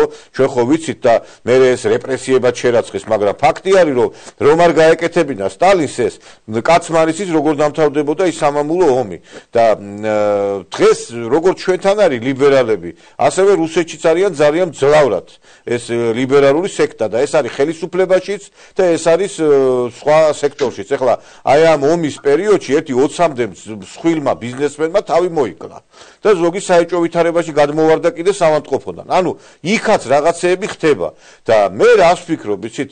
აი ეს წარუმატებლობა, რაღაცა შიდა რაღაცა გარკვეული დივერსიები ხო არ ხორციელდება, იმიტომ რომ დასაყრდენი ხო არ აყავს დასავლეთ შიგნით თვითონ ამ არმიაშიც, იმიტომ რომ ჩვენ გვახსოვს, იგივე ლებედი გვახსოვს, რომელმაც მაგალითად თითქოს თითქმის დამარცხებული ჩეჩნური არმია შემოატრიალა სიტუაცია ხასავიურტის შეთანხმება გაფორმდა და შემდგომ ყველაფერი უკუღმა დატრიალდა. და ამის შემდგომ ლებედი ააფეთქეს ნუ ვითომ უბედური შემთხვევა იყო ის ვეთფრენი ჩამოგდება მაგრამ ტერაქტის კვალიფიკაციას აძლევს ბევრი ამათ ანუ რას ვიძახი იცით რომ აი რაღაცა ბოლო პერიოდში რო არ მიდის ფაქტია ეს კარგად ხო რუსეთის მიმართულები და ეს რისი ბრალი არის თქვენ როგორ ფიქრობ? ანუ დივერსიის შეთქმულების თუ უბრალოდ მოძლიერი მოწინააღმდეგე ყავს რა ხა მანდ უკვე როდესაც მთელი მსოფლიო ჩაერთვება ერთი ქვეყნის წინააღმდეგ ეს თავისთავად უკვე ის არის მაგრამ რას უკვე ხა დივერსიაც იქნება და შიდა ღალატიც იქნება, იმიტომ რომ თვითონ საბჭოთა კავშირის დროსაც ხო შიგნიდან მოხდა ეს ყველაფერი, ხო შიგნით გაიყიდა პოლიტბიუროს წევრებს მოუნდათ კარგად ცხოვრება სეიშელზე, მაიამზე, ასე შემდეგ და ნუ ეხა ეს იგივე პროცესია ზუსტად. აი თუ თქვენ ალბათ გექნებათ ნანახი 76 წელს არის მე მგონი გამოცემული ფილმის პიასში ანუ ის მიძინებული აგენტურა ყველა სტრუქტურაში როგორ თანდათან გამოაღვიძეს რასაკურია ძალიან დიდი ფულით. იგივე იყო გორბაჩოვიც ხო როდესაც გორბაჩოვმა სტრატეგიული რაკეტების ის განლაგება განუცხადა ოლბრაიტს მადლენ ოლბრაიტს ხო მე უკვე ის იქთა ნაშ პარით მაგაცთვის და მე უკვე გახდა პრეზიდენტი და მისი ხელით უკვე დაშალეს და ანგრიეს ამ ხელა სახელმწიფო მე უკვე ერცინი მოვიდა და პრივატიზაცია დაიწყო და დაყიდეს და დაანიავეს ყველაფერი და ფაქტურად მე ეს პროცესი წამოვიდა ყველგან.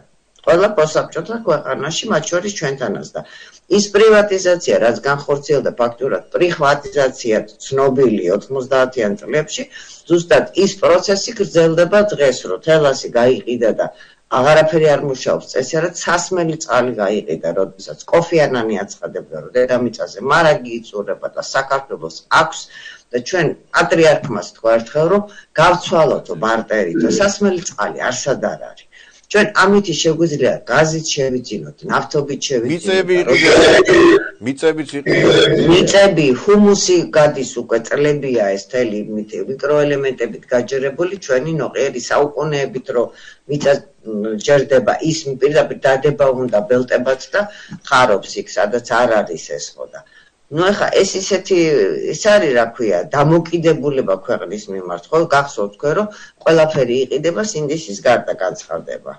იმისი ბენდუქიძის თუმცა სინდისის ნაკლებობაც და არარსებობაც რო იყო იმ პერიოდში ფაქტია ხო? თან იცით რა არის ესა ბატონ نيكოლოზ რომ ის ხალხი და ის შემადგენლობა, ვინც ზიადისტებად იწოდებოდა და იმ ფასეულობებზე და ღირებულებებზე მოდიოდა და იდეაზე ეროვნულზე უცფად ისეთი სისტრაფით გადალაგდა ყველა მერე ნაციონალურ მოძრაობაში მერკანტილური ინტერესებით, იმიტომ რომ თუ იმ იდეას ემხრობოდი, აი ამ მიგაყიდვის, ტყეების, დინარეების, ნუ ეს ყველაფერი გაყიდეს ფაქტიურად. ნუ ყველა არის მიყვა განათლების სისტემის დანგრევა, ის მითითებები, რომ რეფორმა გავატაროთ ყველგან და თქვენ დააკვირდით, რომ ყველაფრის რეფორმირებას ითხოვენ ჩვენგან გარედან, ჩვენი პარტნიორები, გარდა მედიისა. ეს არის ყველაზე კარგი მექანიზმი ქვეყნის შიდა არევისთვის, ხო? გრანტები დაფინანსებული რეზიდენტურა, მედია და NGO სექტორი. რაც თავისთავად გააუქმა ამისი გარედან შემოსვლა და დაფინანსება არასამთავრობო სექტორის ამერიკამაც, რუსეთმაც, ისრაელმაც. და ჩვენ ესეთი პატარა ქვეყანა ამ ხელა ქვეყნების მაგალითზე ვერ მიხვდით იმას, რომ არ შეიძლება უცხო ქვეყანა მაფინანსო შენი მოქალაქე შეგინ და იმათ ინტერესებში მსახურობდნენ ხო ეს ხო დავალებას ასრულებს. მეტი სხვა შპიონაჟი არაფერი არ იყო როცა სხვა ქვეყანაში აგზავნიდი ფულს უხდიდი და ეს მე რა ქვია თუდად ჩანს გასაგები. ხო, იცით რა მოთხმა შემოდის ჩემი ბრუნდება და იქნება დაუწიოთ ტექნიკურად. და იცით რა ხალბოთ ბაია, მე ხლა თქვენ პოზიციებს ვიზიარებ, რომ ყველაფერი იყიდება, რა თქმა უნდა, აა აყიდულია უკვე ყველაფერი. ეხლა უკვე აღარაფერი აღარ იყიდება. მოგონი გასაყიდი გაიყიდა. რა თქმა უნდა, მაგრამ ერთი რამე არის, რომ აი ხა თქვენ როგორ ფიქრობთ? აი ეს ხელისუფლება რომელსაც ციგლობენ რომ ჩაითრიონ ამ ომში. თქვენ საუბრობთ რომ აგენტურა მოქმედებს და სწორია გეთანხმებით ამაში. ხო არ დადგა ის დრო რომ უკვე აი გარდა იმისა რომ რაღაცა ლავირებას ვახდენთ, ვაიმე იმას არ ვეწყინოთ, აი რაღაცა თითქოს ოქროს შუალედი გვაქვს არჩეული. ამ ოქროს შუალედიდან ცოტა სხვა მიმართულებით უნდა გადავიდეთ, იმიტომ რომ უკვე როცა USAID აკეთებს განცხადებას რომ დაასანქცირეთო ხელისუფლების წარმომადგენლებიო და USAID არის ოფიციალური სტრუქტურა ამერიკის შეერთებული შეერთებული შტატების, როცა მათი აგენტურა ეს მედია NGO-ები ესე უტევენ, ხო არ დადგა ის დრო რომ როგორც თურქეთის პრეზიდენტმა ერდოღანმა გაუკეთა ფეთულა გულენის მომხრეებს, როდესაც ნახევარი თურქეთის ციხეში გამოკეტა, იმიტომ რომ ისინი იყვნენ მოღალატეები თურქეთის არა მარტო ხელისუფლების, აი თურქეთის მოღალატეებიც იყვნენ. ხო არ დადგა რომ ჩვენს გავწმინდოთ ეს ქვეყანა, ხა როდემდე შეიძლება კაცო ახლა რომ უყუროთ ამ მოღალატეების ტელეარხებს, როდემდე შეიძლება უყუროთ ამ მოღალატე პარტიებს, ახლა გელი მგელიო და მაერთხელ მართლაც შეიძლება ჩამოაგდონ ეს ხელისუფლება და ხო არ ფიქრობთ რომ დადგა დრო უკვე მოქმედებების. აი იგივე რასაც ბატონი რეზო ითხოვდა ხშირად რომ დაიჭირეთ ბოკერი, ხო დაიჭირეთ ბოკერია, დახურეთ ტელევიზიები. მართლა ეხლა მაზოხიზმს ემსგავსება ეს ყველაფერი ეხლა, ხო? რომ ეხლა ქვეყნის ტრებს უყურებთ ყოველ დღიურად, ხო? აი ამ TV პირველებს, ამ თავარ არხებს და ჩვენ კიდე აი მე უბრალოდ შეშფოთებას გამოთქვამთ აქ და რაღაცა ნერვები გვეშლება ამ ყველაფერზე და რაღაცა მე მგონი დადგა ეს დრო უკვე, ხო? ისა გეთახმებით ბატონო მიხეილ მამასაც ვეთახმობოდი ყოველთვის რომ დასაჯელი უნდა დაისაჯოს ყოველთვის იმიტომ რომ დაუჯელობის სინდრომი ჩდება და მე უკვე ხალხი გადადის ლინჩის წესზე ფაქტიურად თორსა კანონი არ კანონობს იქ უკვე თვითონ ხალხი იმაშება მაგრამ ჩვენი ხელისუფლება მე ვფიქრობ, პრემიერის თავოსნობით აი ბეწვის ხიდზე გადის ძალიან ისეთ ფრთხილ და გონიერ პოლიტიკას ატარებს თორე. სხვა რო ყოფილიყო აქამდე ჩვენ ის ქართლში იქნებოდით გახულებ მაგრამ სამწუხაროდ ჩვენ შებოჭილები ვართ იმ რაღაცა საერთაშორისო ვალდებულებებით იმიტომ რომ როგორც კი ვიღაცას დაიჭერდა ხელს მოკიდებ იმ წუთშივე მოდის ამ ლობისტი პარტნიორებიდან და და ევროპარლამენტარებიდან ის მითითებები რომ ეს პოლიტიკური პატიმარია და არიქა გამოუშვი და არიქა მედიაზე ზეწოლა და ის არის. თქვენ ხო კარგად იცით ეს როგორ ხდება საერთოდ და მე უკვე ფაქტიურად ის მთელი სანქციები და მითითებები მე ხარ რიგით მოქალაქეს მიმასჩიან რომ არანაირი უფლება არც USA-ს, ASEAN-ს, ამერიკის და არავის არ აქვს რომ შენ ჩაგერიოს და მიგითით რიად დეკლარირებენ იმას რომ ის არ ერევა შენ შიდა საქმეებში. მეტი ჩარევა რაღა გამოდის აბაროცა პირდაპირ ფაქტიურად არ ვამბობო იძახის დეგნანი რომ ომი დაიწყეთო, მაგრამ ის ვინც NGO აცხადებს, რომ კარგია და ჩვენ უნდა ავუბათ ხარ უკრაინას და მეორე ფორტი ხავს, იმაზე არაფერს არ იძახიან. ეს არის პირდაპირ მხარდაჭერა და ეს უკვე პარტნიორობა აღარ არის. პარტნიორი ჩემ ინტერესს უნდა სახელმწიფო ინტერესს უნდა ის თავისი ინტერესით მოქმედებს, რომ მე ჩამითრიოს და აქედან ზურგში აი პარტიზანული ის გავაჩახოთ ფაქტიურად რუსეთის წინააღმდეგ და 15 წუთში გადაგვევლია. და ვინ არის წინააღმდეგობის გამწევი რითი ჩვენ რაც შევძელით აგერ გამოჩნდა აგვისტოს ომში ხო კისრის წეხვით გაიქცენ დაყარეს ყველაფერი და გაიქცენ როდესაც 7 ესე იგი წელი ციშველი ხელებით აი სრულიად გამოუსდელმა ბიჭებმა კოდორი და ის შეინარჩუნეს და რამდენი თბილისელი ჩაწვა იქა და ეს საქმე იყო რაც გააკეთეს გარიგებული წინასწარ ტრიბუნები და დროშები წასული და მე მე გარბოდნენ წითელხიძე. ზუსტად იგივე იქნება. ზუსტად. ასე რომ ალბათ დადგება ეგ რომ ხალხი მოითხოს დაჟას უკვე, მაგრამ აი ეს გარედან ზეწოლა რაც არის, ამაზე მაინც ხელისუფლება ფრთხილობს, იმიტომ რომ ჩვენ ფაქტიურად აი გრანტებით, დახმარებებით ხო ჩვენ გარკვეულად ეკონომიურ მარწუხებში მოგვაქციეს ხო რა შენ ამას თუ არ გააკეთებ მე ფულს აღარ მოგცემ. აი რაღაც ესეთი ის არის და ჩვენ ფაქტიურად ყველაფერი პოსტსაბჭოთა სივრცეში გააკეთეს ისე რომ გამათხოვდა დაიშალა მთელი ეკონომიკა გადამული 15 ქვეყნის და აი ამ უცხოური ფულით არის მართვა მე იმისი რომ შენ თუ ამას არიზა მე მაშინ ამას არ გაგეკეთებ და მე მახსოვს დეგოლს როდესაც უთხრეს ომის მერე დახმარებაზე და გარედან ფულზე კატეგორიულად თქვა რომ თუ ჩემი ქვეყანა თვითონ თავს ვერ ირჩევს ამგვილა პირისაკენ მიწევ ჩაკეტა საფრანგეთი დღეს ახლა როგორღაც ჩვენზე უკეთესი ქვეყანაა ხო? ჩვენ ამისი ამას ძალიან დიდი ვაჟკაცობა უნდა იცით? ძალიან დიდი მე თუ მკითხავ და თავის გაწირვაც იმიტომ რომ ძალიან ძნელია, იმიტომ რომ მე ძალიან მეწოდება ირაკლი ღარიბაშვილი, იმიტომ რომ იმდენი მხრიდან უტევენ, როგორ უნდა გაუმკლავდეს ამას, ну რასაკურველია ხალხს ხარდაჭერა ამ ადამიანს ნამდვილად აქვს. და დაუძგება კიდევაც გერჩო ერთმა არაკნას, მაგრამ ეს პოზიცია, რაც ჩვენ რაში ჩაგვაყენეს ახლა პარტნიორებმა, ეს ნამდვილად ჩემი თვალსაჩინით მეგობრობას აღარ გავს. ეს არის ულტიმატუმების ენით საუბარი ვიღაცასთან ვინც არ მიგაჩნია არაფრად. აი ჩვენ თამოყარების ამბავია ყველაფერს დავიდავანებ. გასე დიდი მადლობა, დიდი მადლობა ქალბატონო ბაია ჩართვისათვის. გაიხარეთ, დიდი მადლობა ჩვენი სტუმარი იყო პოლიტოლოგი, ისტორიკოსი ქალბატონი ბაია ამაშუკელი. ჩვენ განმოვინაცვლებ სტუდიაში ჩვენ სტუმართან ბატონ ვაჟა უთარაშვილთან. ბატონო ვაჟა, აი ეხლა მე როგორც უყურებ ამ პროცესებს, ხო? და თქვენც ადევნებთ. აი ხა იცით რა არის? აი ნენელა ზამბარა იჭიმება. ანუ უყურეთ რა ხდება, აი ესე იგი, რაც ესე იგი სიტუაცია იქითკენ კი არ მიდის რაღაცა ესკალაციამ პირიქით წვავდება და წვავდება. ანუ ჩვენს გარშემო ფაქტობრივად ინთება ცეცხლი და ესე იგი თითქოს აი საქართველოს რჩება ამ რეგიონში ერთადერთი რაღაცა ტერიტორია, სადაც აი რაღაცა მშვიდობა არის დასადგურებული ხელისუფლების გარკვეული სწორი პოლიტიკის შედეგად, თორე ეხლა წარმოგიდგენია თქვენ აქრო ნაციონალური მოძრაობა იყო დღეს ხელისუფლებაში.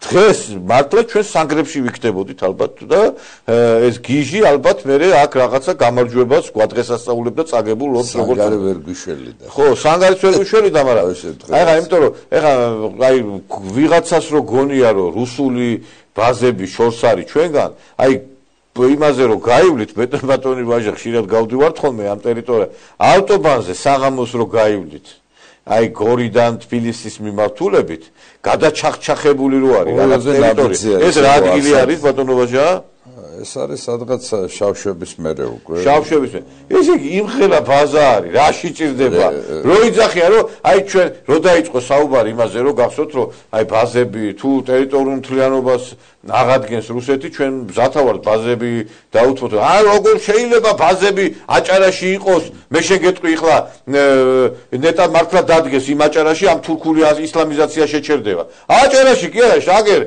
გორის იმასთან ავტობანთან არის უზარმაზარი. ავტო ერთი თან მიმართულია ის ნულა თბილისისკენ. საერთოდ არ ჭირდებათ განძრევა. იმ წუთას იქიდანვე დაბომბავოთ თბილისს არა? აი რა არ არ ჭირდებათ განძრევა არ ჭირდებათ. პირდაპირ ლულა არის მიშველი თბილისისკენ. და ვის რა რა ბაზებზე არის საუბარი და ამიტომ აი მე ვფიქრობ რომ მართლა აი ძალიან ფთხილი დამოკიდე ფთხილი სიტუაცია გჭირდება ჩვენ ახლა გარკვეული მიდგომები რომ რაღაცა შევინარჩუნოთ. და რა ის რომ ესენი რომ გვეუბნებიან ახლა ვითომ ნამუზე რომ გვაგდებენ. აბა ახლა ჩვენი წინაპრები რომ ბძოლობდე ვითომ რამე წინაპრების რამე ადაწესი გქონდეთ რამე გაზიარებული ამას. აბა ომი გინდა და ვითომ რამე რამე თავი შეეძლოთ გადაკუზულები არიან იქა და ბოდიში და შარვალის შახტის მეტი არაფერი არ იციან. ამათ და გილჩებში არიან გაწევრიანებული. აი სამარცხინო ალბათ ეს ყველაფერი რა. ესე იგი ეს იმის შედეგია რომ ჩვენთან ეროვნული სახელმწიფო პოლიტიკა არ არის სათანადო დონეზე. კიდევ ერთხელ ვაცხადებ რომ ჩვენ ვართ დასავლეთის და ამერიკის შეერთებული შტატების კოლონია. და აი ამ კოლონიას თავისი ბატონი, რომელსაც ქვია ეგრეთ წოდებული პარტნიორი, მეგობარი ქვეყნები რასაც უბძანებენ ბაჭიასავით ისე სკუპავს და ესე აკეთებს. საქართველოს უნდა კონდეს გამოკვეთილი ეროვნული სახელმწიფო პოლიტიკა.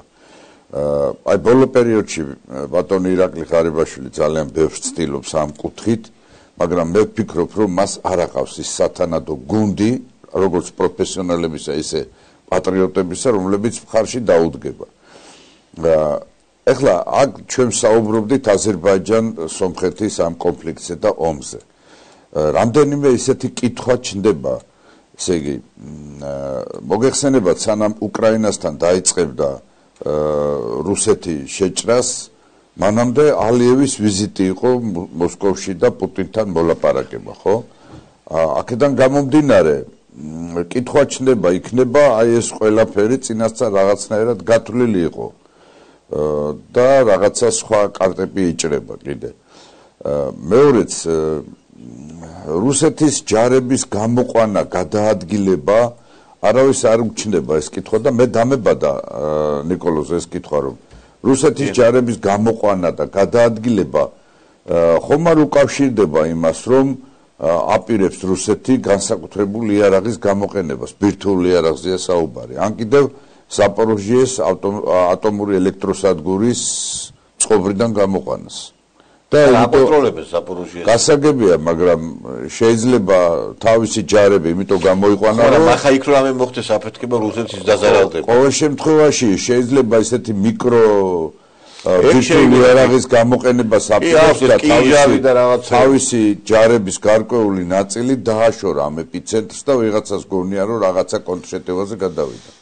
იბადება ეს კითხვა ალბათ სამხედრო აი შორის ქალბატონმა თამარმა ძალიან სამხედრო სამხედრო ექსპერტებსაც დაებადებოდათ ეს კითხვა იმიტომ რომ ესეთი აშკარად მცდარი სამხედრო სტრატეგიული გადაადგილებები და მანევრები რომელმაც გამოიწვია ცოცხალი ძალის და ასევე ტერიტორიული ზარალი და პრობლემი ტერიტორიაზე ლაპარაკით რუსეთის ტერიტორიაზე არ არის რა თქმა უნდა ეს შემთხვევით არ ახდება რა თქმა უნდა შიგა შეთქმულება დივერსია ლიბერალური ხაზებიც არ არის გამოსარიცხი მაგრამ მაინც ფაქტია რომ რუსეთ უკრაინის ამ ომით დაიწყო მესამე მსოფლიო ომის შესავალი დედამიწაზე და გადანაწილება სახელმწიფოებისა ახალებურად მოეწყობა მსოფლიო. მიწების გადანაწილების პროცესი იწყება და სამწუხაროა, რომ ის მცირე მიწიანი ქვეყანა, რომელსაც საქართველოს ქვია, არა მარტო ოკუპაციას უნდა ებრძოდეს, არამედ შიგა ოკუპაციას უნდა ებრძოდეს, როდესაც ქართველობა ვყიდით ჩვენ მიწებს. ჩვენ მიწებს. ამაზე თქვენ ძალიან აქტიურად ბრძოლობთ. ამდენად, ამდენად, როდესაც ჩვენ საუბრობთ კონფლიქტებზე, ერთადერთი ჩვენი გადარჩენის გზა საქართველოსი როგორც სახელმწიფოსი ეს არის ნეიტრალური ქვეყნის სტატუსი სწრაფვა. ამაზე უკვე არაერთხელ გავუსვით ხას და აი ხა ჩვენ რო ვლაპარაკობთ ამ ისე რა ქვია შავალ ჩახტილის სექტის წარმომადგენლებს ერთ-ერთი არის გირჩი რომელიც საკრებულოშიც არის წარმოდგენილი და არის წარმოდგენილი პარლამენტში და ესე იგი წარმოგიდგენიათ ეს ხალხი ლაპარაკობს იმის შესახებ, რომ აბა ომი გინდა და ეხლა ომში ესე იგი ჩართვისკენ მოგვიწოდებენ და თავად ყველა გაწევრიანებულია იმ სექტაში, რომელიც სექტის წევრებიც არ მიყავთ ჯარში, გესმით? ეს ესენი კურდღლები, ესენი, ესე იგი თვითონ უნდათ რომ ხების ხარჯზე ქვეყანა ჩაეფლოს ომში და რამე რო დაიწყო საომარი მოქმედებები, აფრიალებენ ამ გირჩის სექტის იმას, რა ქვია, დოკუმენტებს, რომელიც წევრები თვითონ არიან, ზოგი არის ეპისკოპოსი, ზოგი არის პატრიარქი, თვითმარქვიად გამოცხადებული და აი აი ასე უნდა და ეხა ერთ-ერთი გასაბერი ეკლესია. ხო, გასაბერი ერთ-ერთი არის ომი დაიწყება და ეს მადარდეს, მადარდეს რომ უნდა შევეგობოთ ამ არსებული ვითარებით იმ ყოფრის რაც შეიძლება გარდავალი აღმოჩნდეს. მე მაღელოს როცა ენას ვიჩლებ პუტინთან მიმართებაში, ამ არაკაცი ღორის მიმართებაში, მინიმუმ თავმოყარეთ მაინც ვიცხოვროთ, არა? თავმოყარეობა მაინც შევინარჩუნოთ. მინიმუმ თავმოყარეთ მაინც ვიცხოვროთ, არა? თავმოყარეობა მაინც შევინარჩუნოთ. აი ხა ეს არის ცოტნე კობერიძე რომელიც არის გაწევრიანებული ამ გირჩის სექტაჩი ის დოკუმენტი ჩვენ იმითო წარმოგიდგინეთ ჩემო მეგობრებო რომ ესე იგი რამე რო დაიწყება ომი მე აფრიადებს ამ მასში რა ქვია კომისარიატში ამ ცნობა და ესეთი ხალხი არის ამათვის ომი ესე იგი ესე იგი პუტინს ლანძღავენ აგინებენ და მე რამე რო იქნება ბოდიშ დაიმალებიან და ეს ქვეყანა უნდა დაზოგავდეს ეს ეს შარვალ ჩახტილები ესენი რა. ნიკოლოს ეს ხალხი 2008 წელში ზოგი წითელხიძე გარბოდა ზოგი სარფში და ზოგისა და ზოგისა და კიდევ ერთხელ ვაცხადებ რომ იმ შინდისელი გმირების გმირებს შორის ყველა იყო უბრალო ქართული ოჯახებიდან გამოსული და არა გირჩების, ბანანების და მდელოების და ლელოების ოჯახებიდან გამოსული. იყვნენ ჩვეულებრივი ქართული ვაშკაცური ოჯახებიდან გამოსული შვილები. და ეხლა ესეთი ადამიანი გარეწარია, რომელიც სხვებს აკეზებს, სხვებზე ლაპარაკობს, რომ იცით რა, პუტინ ესე და ამას არც ომი უნახია და მაგნაერები ფეხებთან ის რა ქვია სათამაშო ყუმბარა რო აფეთქო შეიძლება ქვეშ ჩაისვაროს მაპატიეთ ამ სიტყვაზე. რა აი ესეთი ადამიანები არიან რომლებიც ამ ქვეყანას წაახდენენ. და ჩვენ თუ არ მოვაცილეთ ეს პოლიტიკური ასპარეზიდან ეს ესეთი პარტიები მართლა დაღუპავენ საქართველოს. მომავალი თაობა მოდის რომელსაც ესენი უხადაგებენ ამ სისულელებს. თვითონ აქ რაღაცა ცნობა იმ გასაბერი ეკლესიისა თუ რაღაცა ეპისკოპოსსა ჯარში არ მიდის ან აქამდე რატო არ შეიცვალა ეს ყველაზე სასწაული რა არის ცი ერთ-ერთი ვიღაცა ამ კანონმდებლობას რატო არ ჩულ ხო და გირჩი ნუ არ ვიცი გირჩის წევრი გარდაიცვალა ვიღაცა ხო და მე პროტესტი გამოთქვეს ტელევიზიით აიღეს ყველაფერი მამაომო წესი არა უგოო და ის მამაო მივიდა კაცო თქვენ ქრისტიანი არ ახართ თქვენ ხართ სექტის წევრი და სექტის წევრს წესის ვერ აუგებთ. აიღეს ყველაფერი როგორ შეიძლება ესა კაცო ეკლესია ხო ყველას მიმართულება არ არის მეგრე ეხლა მუსლიმანს ვერ აუგებს ეს ქრისტიანი მღვდელი თქვენ ახართ სექტის წევრები და ეს ესე იგი თანი უნდათ, ესე იგი ჯვარი დაიწერო. თან უნდათ, ესე იგი როგარ დაიწება ხა, ერთმა ხა ყველა დიდხანს აცოცხლოს, მაგრამ წესი აუგონდა. ეგრე არ არის, ეხა როცა უნდათ, ეკლესია ჭირდებათ, როცა უნდა არა. ეხლა კიდე აი მოღალატებზე რომ ლაპარაკობდით, მინდა ერთ-ერთი მოღალატე წარმოგიდგინოთ კიდე, რომელსაც თქვენს კარგად იცნობთ. ნიკოლო, სანამ წარმოვიდგენ, მანამდე ვიტყვი, ეხლა მე როგორც თეოლოგიის დოქტორი, რომ თვითონ როდესაც არიცნობენ დიდის ჯულის კანონს როგორ შეიძლება ესე იგი შენ არ ახარ ქრისტიანი არ ახარ მორწმუნე და დიდის ჯულის კანონში მაინც ჩახედე? შეიძლება შენი არის წესის აგება ან კიდე შენი ისა რა ქვია არის ეს კაი ხა ბატონო ვაჟარ ირ არ ჯულის კანონზე ველაპარაკებით ეხლა მაგაცმა ის არის ელემენტარული ღმერთი და უფალი ის ახარ ჯულის კანონი ჩვენ სამწუხაროდ იმან არის ის პეტრე კოლხმა და იმან რა ქვია ჭონდიდის ყოფილმა ეპისკოპოსმა და ეხლა თქვენ გინდათ რომ არა იმათ პარიზია ჯულის კანონი. ლაპარაკობენ რომ ეხლა ქრისტიანი მგდელი ამ გირჩის იმას აუწეს ეხლა ეხლა მე მინდა სამწუნებენ კაცო ერთი მოღალატე მინდა წარმოგიდგინოთ კიდე მე არ ვიცი ეს ქალბატონი მე ღმერთმა დიდხანს საცოცხლოს და აზერბაიჯანის შორის პერიოდულად ვითარება მძიმდება და საომარი მოქმედებები იწყება უკრაინას რუსეთს შორის ომი მიმდინარეობს რუსეთს აგრესია მიმდინარეობს უკრაინაში. ამ ფონზე იმავე რუსეთის მიერ ოკუპირებულ ქვეყანას, რა თქმა უნდა, უნდა იმისი მოთხოვნილება ქონოდა, რომ თავდაცვის ბიუჯეტი გაზრდილიყო და წელს ჩვენ უნდა გვენახა თავდაცვის მინისტრი პარლამენტში მოსიარული ყოველდღიურად იმისათვის, რომ ეთხოვა საბიუჯეტო ცვლილება და საბიუჯეტო რესურსის გაზრდა. სამწუხარო ეს არის, რომელიც არ ხდება და ეს არ გვინდა.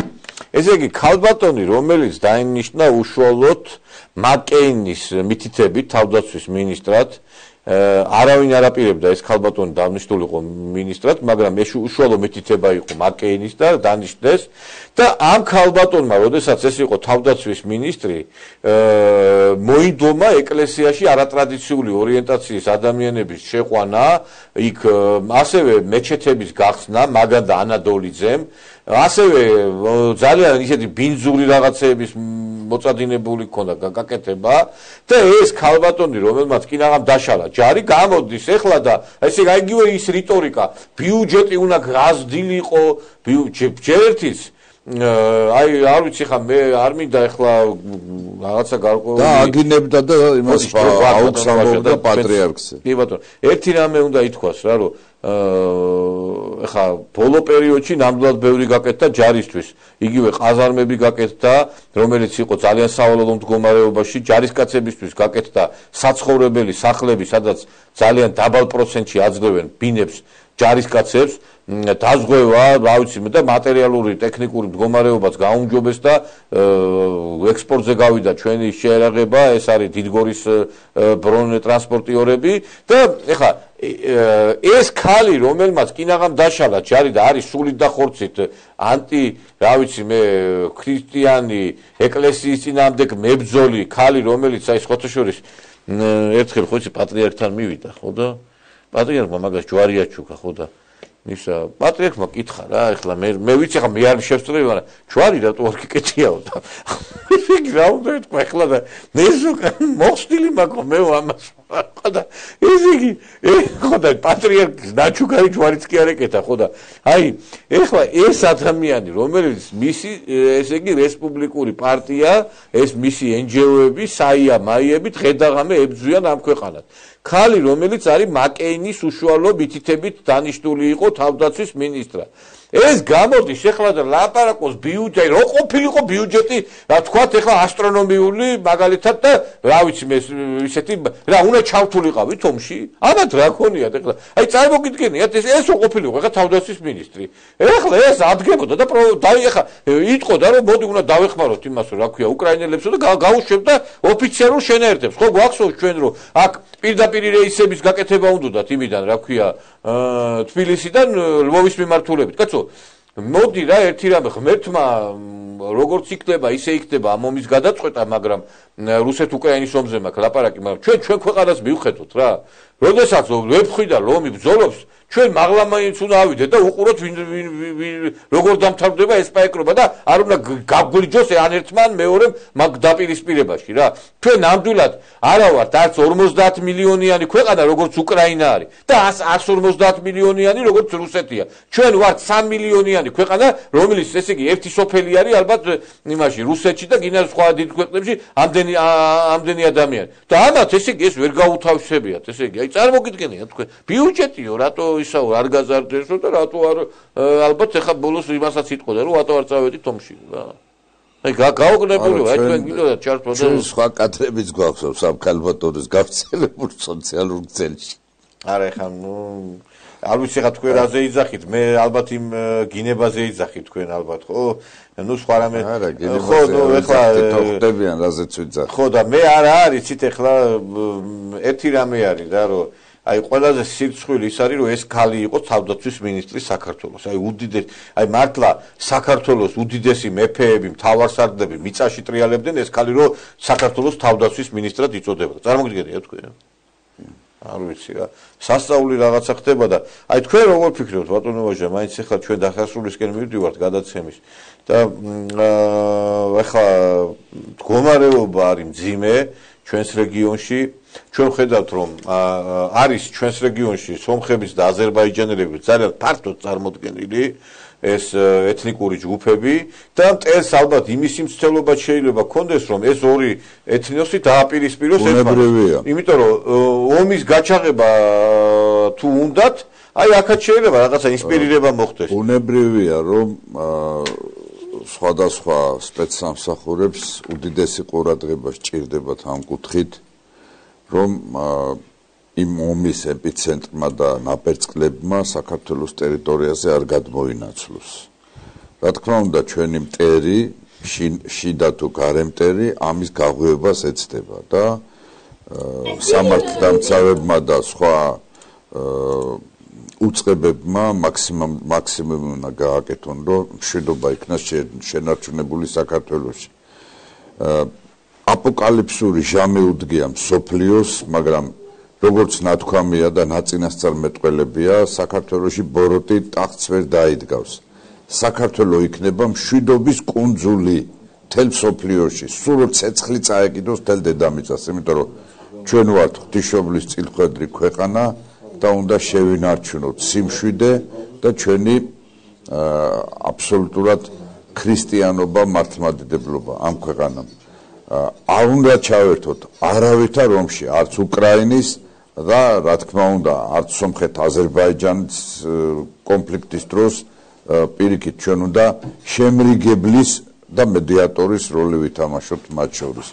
არავითარ შემთხვევაში არ შეიძლება ჩვენი საომარ ვითარებაში ჩართვა. ჯერ ერთი ჩვენი შეერაღებული ძალები, ჩვენი დემოგრაფიული შესაძლებლობები ამის საშუალებას არ გვაძლევს და მეორეც 1990 წლის შემდგომ საქართველოს გადაეტანა უამრავი საომარი კონფლიქტი, კატაკლიზმა, რევოლუცია, შეგადაპირისპირება, სამოქალაქო დაპირისპირება და ასე შემდეგ და ასე შემდეგ.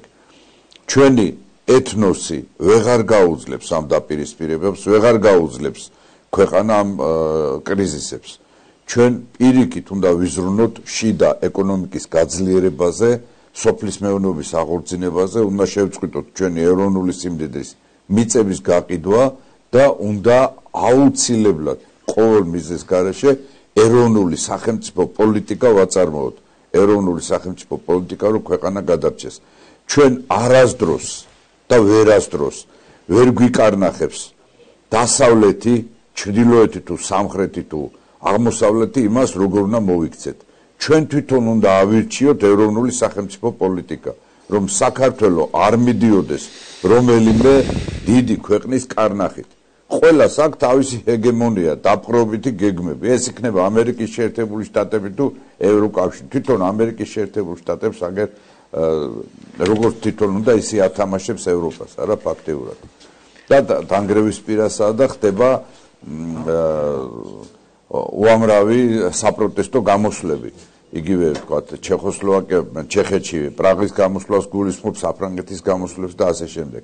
ამიტომაც ჩვენი ეროვნული პოლიტიკა უპირველესად უნდა გამოიხატოს ჩვენი ქვეყნის სიყვარულში, პატრიოტიზმში და უნდა გამოიხატოს იმაში, რომ შევინარჩუნოთ სტაბილური მდგომარეობა, შევინარჩუნოთ სამხედრო მიუმხრობლობა, შევინარჩუნოთ სწრაფვა ნეიტრალიტეტისაკენ. აი ეს არის ჩვენი გამოსავალი. სხვა დანარჩენი და ბუნებრივია რომ ის შიდა პოლიტიკური ძალები რომლებიც აქტიურად მოგვიწოდებენ ომისაკენ ესერი არიან სულ გაყიდული გარეწრები რომლებიც უცხოური ქვეყნის გრანტებით არიან ოფიციალური ჯაშუშები და ოფიციალური რეზიდენტები საქართველოს შემოგზავნილები. თავისი ტელიარხებით დამშვენებული.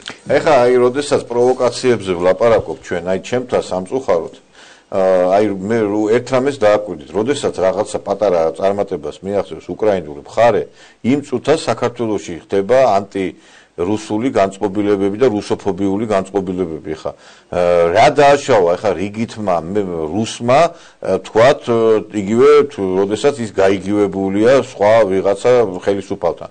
ეხლა რუს აი ვიღაცამ ესე იგი რაღაცა ვიდეო დადო და ამას აზიარებს სააგენტოები. საქართველოში მარშრუტკაში ჩამოყარეს რუსი ტურისტები იმის გამო რომ რაღაცა არ მოეწონათ მათი ნალაპარაკები. სიგიჟე არის ჩემო მეგობრებო ესეთი რამე როგორ შეიძლება თან ამას აგიტაცია საინფორმაციო საშუალება როგორ უნდა უკეთებდეს რომ თან იწონებენ. ეს უხარიათ გიხმის აი ვიღაცა რუსი ჩამოყარეს ტაქსიდან ვიღაცა რუსი გამოაგდეს რესტორანიდან. აი სიგიჟეა აი წარმოგიდგენთ ერთ-ერთი თვალსაჩინოებისთვის მაგალითს Слава России говорите? Понятно. Вот, заткнитесь. Слава России говорят. Езжайте в свою Россию. Понятно? Понятно. Езжайте туда, чтобы ноги ваши не было здесь. Проклятые оккупанты.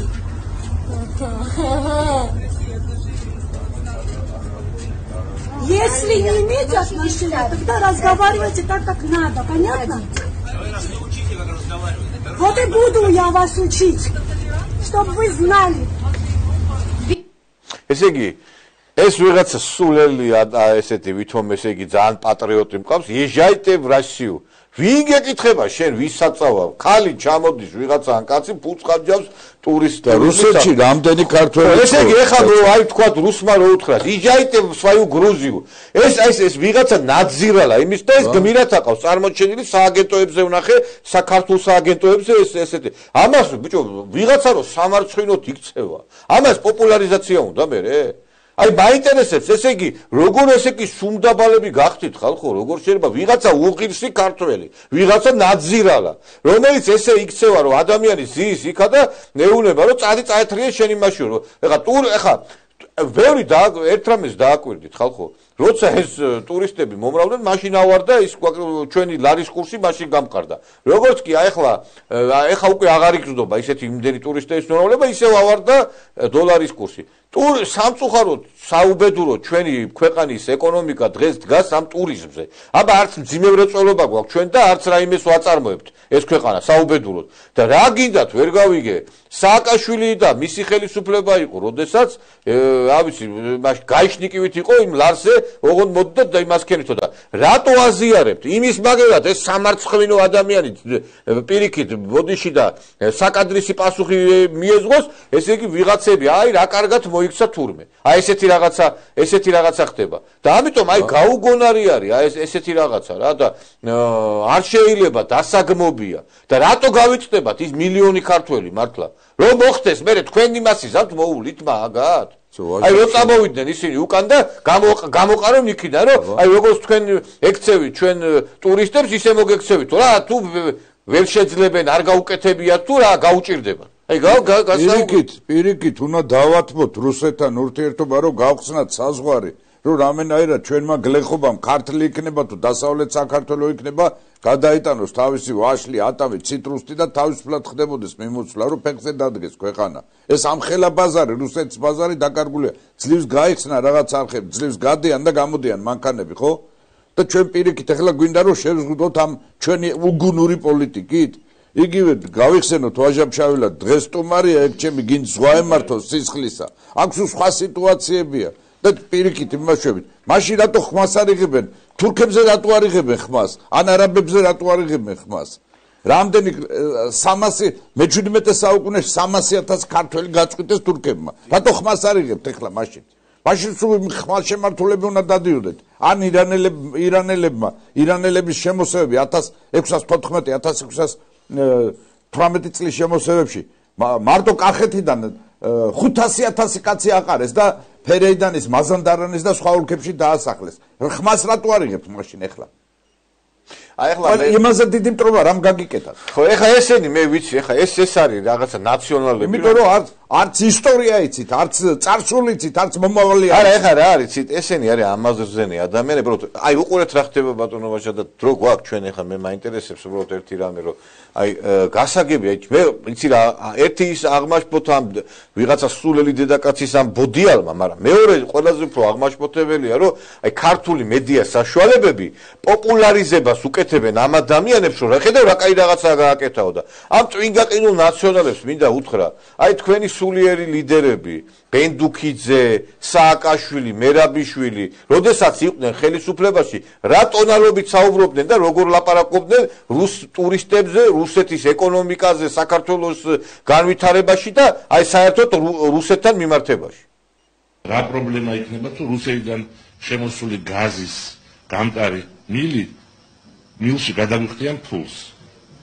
და მოულიან მე ამ მილს. რა სწulis ეს ჩვენს ვთქვათ ენერგეტიკულ უსაფრთხოებაში და ჩვენი საზეთ გამაცავით ხოლმე. ჩვენი საზეთ არავითარ ენერგეტიკულ უსაფრთხოებაში არაფერს საშუალებას არ ხნის.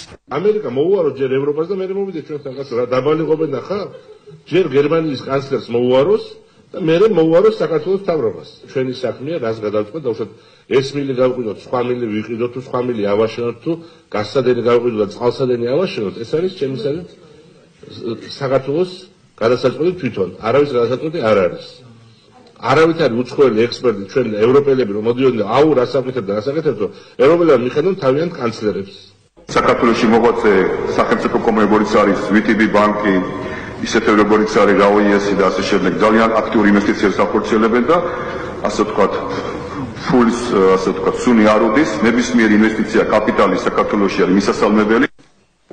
დიახ, ახლა წარმოგიდგენია თქვენ ეს ვანო მერაბიშვილი ხერხემალი სააკაშვილის ლაუბრობს რომ VTB ბანკზე როგორ აღმატებულად ლაპარაკობს რომ RAOIS-ე და რა ვიცი ობიექტებზე რომელიც სააკაშვილმა 2008 წლის ომის შემდგომ მთელი ეს ჰიდროელექტროსადგურები, მთელი ეს ენერგომატარებლების მათ გამტარი ობიექტები ყველაფერი რუსებს გადასცა, ხო? თელასიდან დაწყებული და რა ვიცი, რა უამრავი ობიექტები დამთავრებული და ახლა ამ წვინდაყინულ ნაციონალებს კიდე რომ დაძდევენ ამ რუს ტურისტებს ძალიან თუ კიდე წადით ბოლო-ბოლო და მაშინ ფრონტის ხაზზე გადადით და იქ მებძოლეთ ამათ გესმით და ნუ გავიწდებათ ის რომ ადამიანი რომელიც აქ ჩამოდის და ფულს ხარჯავს ის არ შეიძლება გაიგივებულ იქნას იმ ჯარისკაცთან რომელიც ომობს ახლა მაგალითად იგივე უკრაინაში არ შეიძლება ამის გაიგივება. მაშინ მაინტერესებს ახლა თურქები რო წარმოგიდგებათ აჭარაში, მაშინ წარმოსახვა გააკეთეს, რომ ტაოკლარჯეთი წაგვართვეს და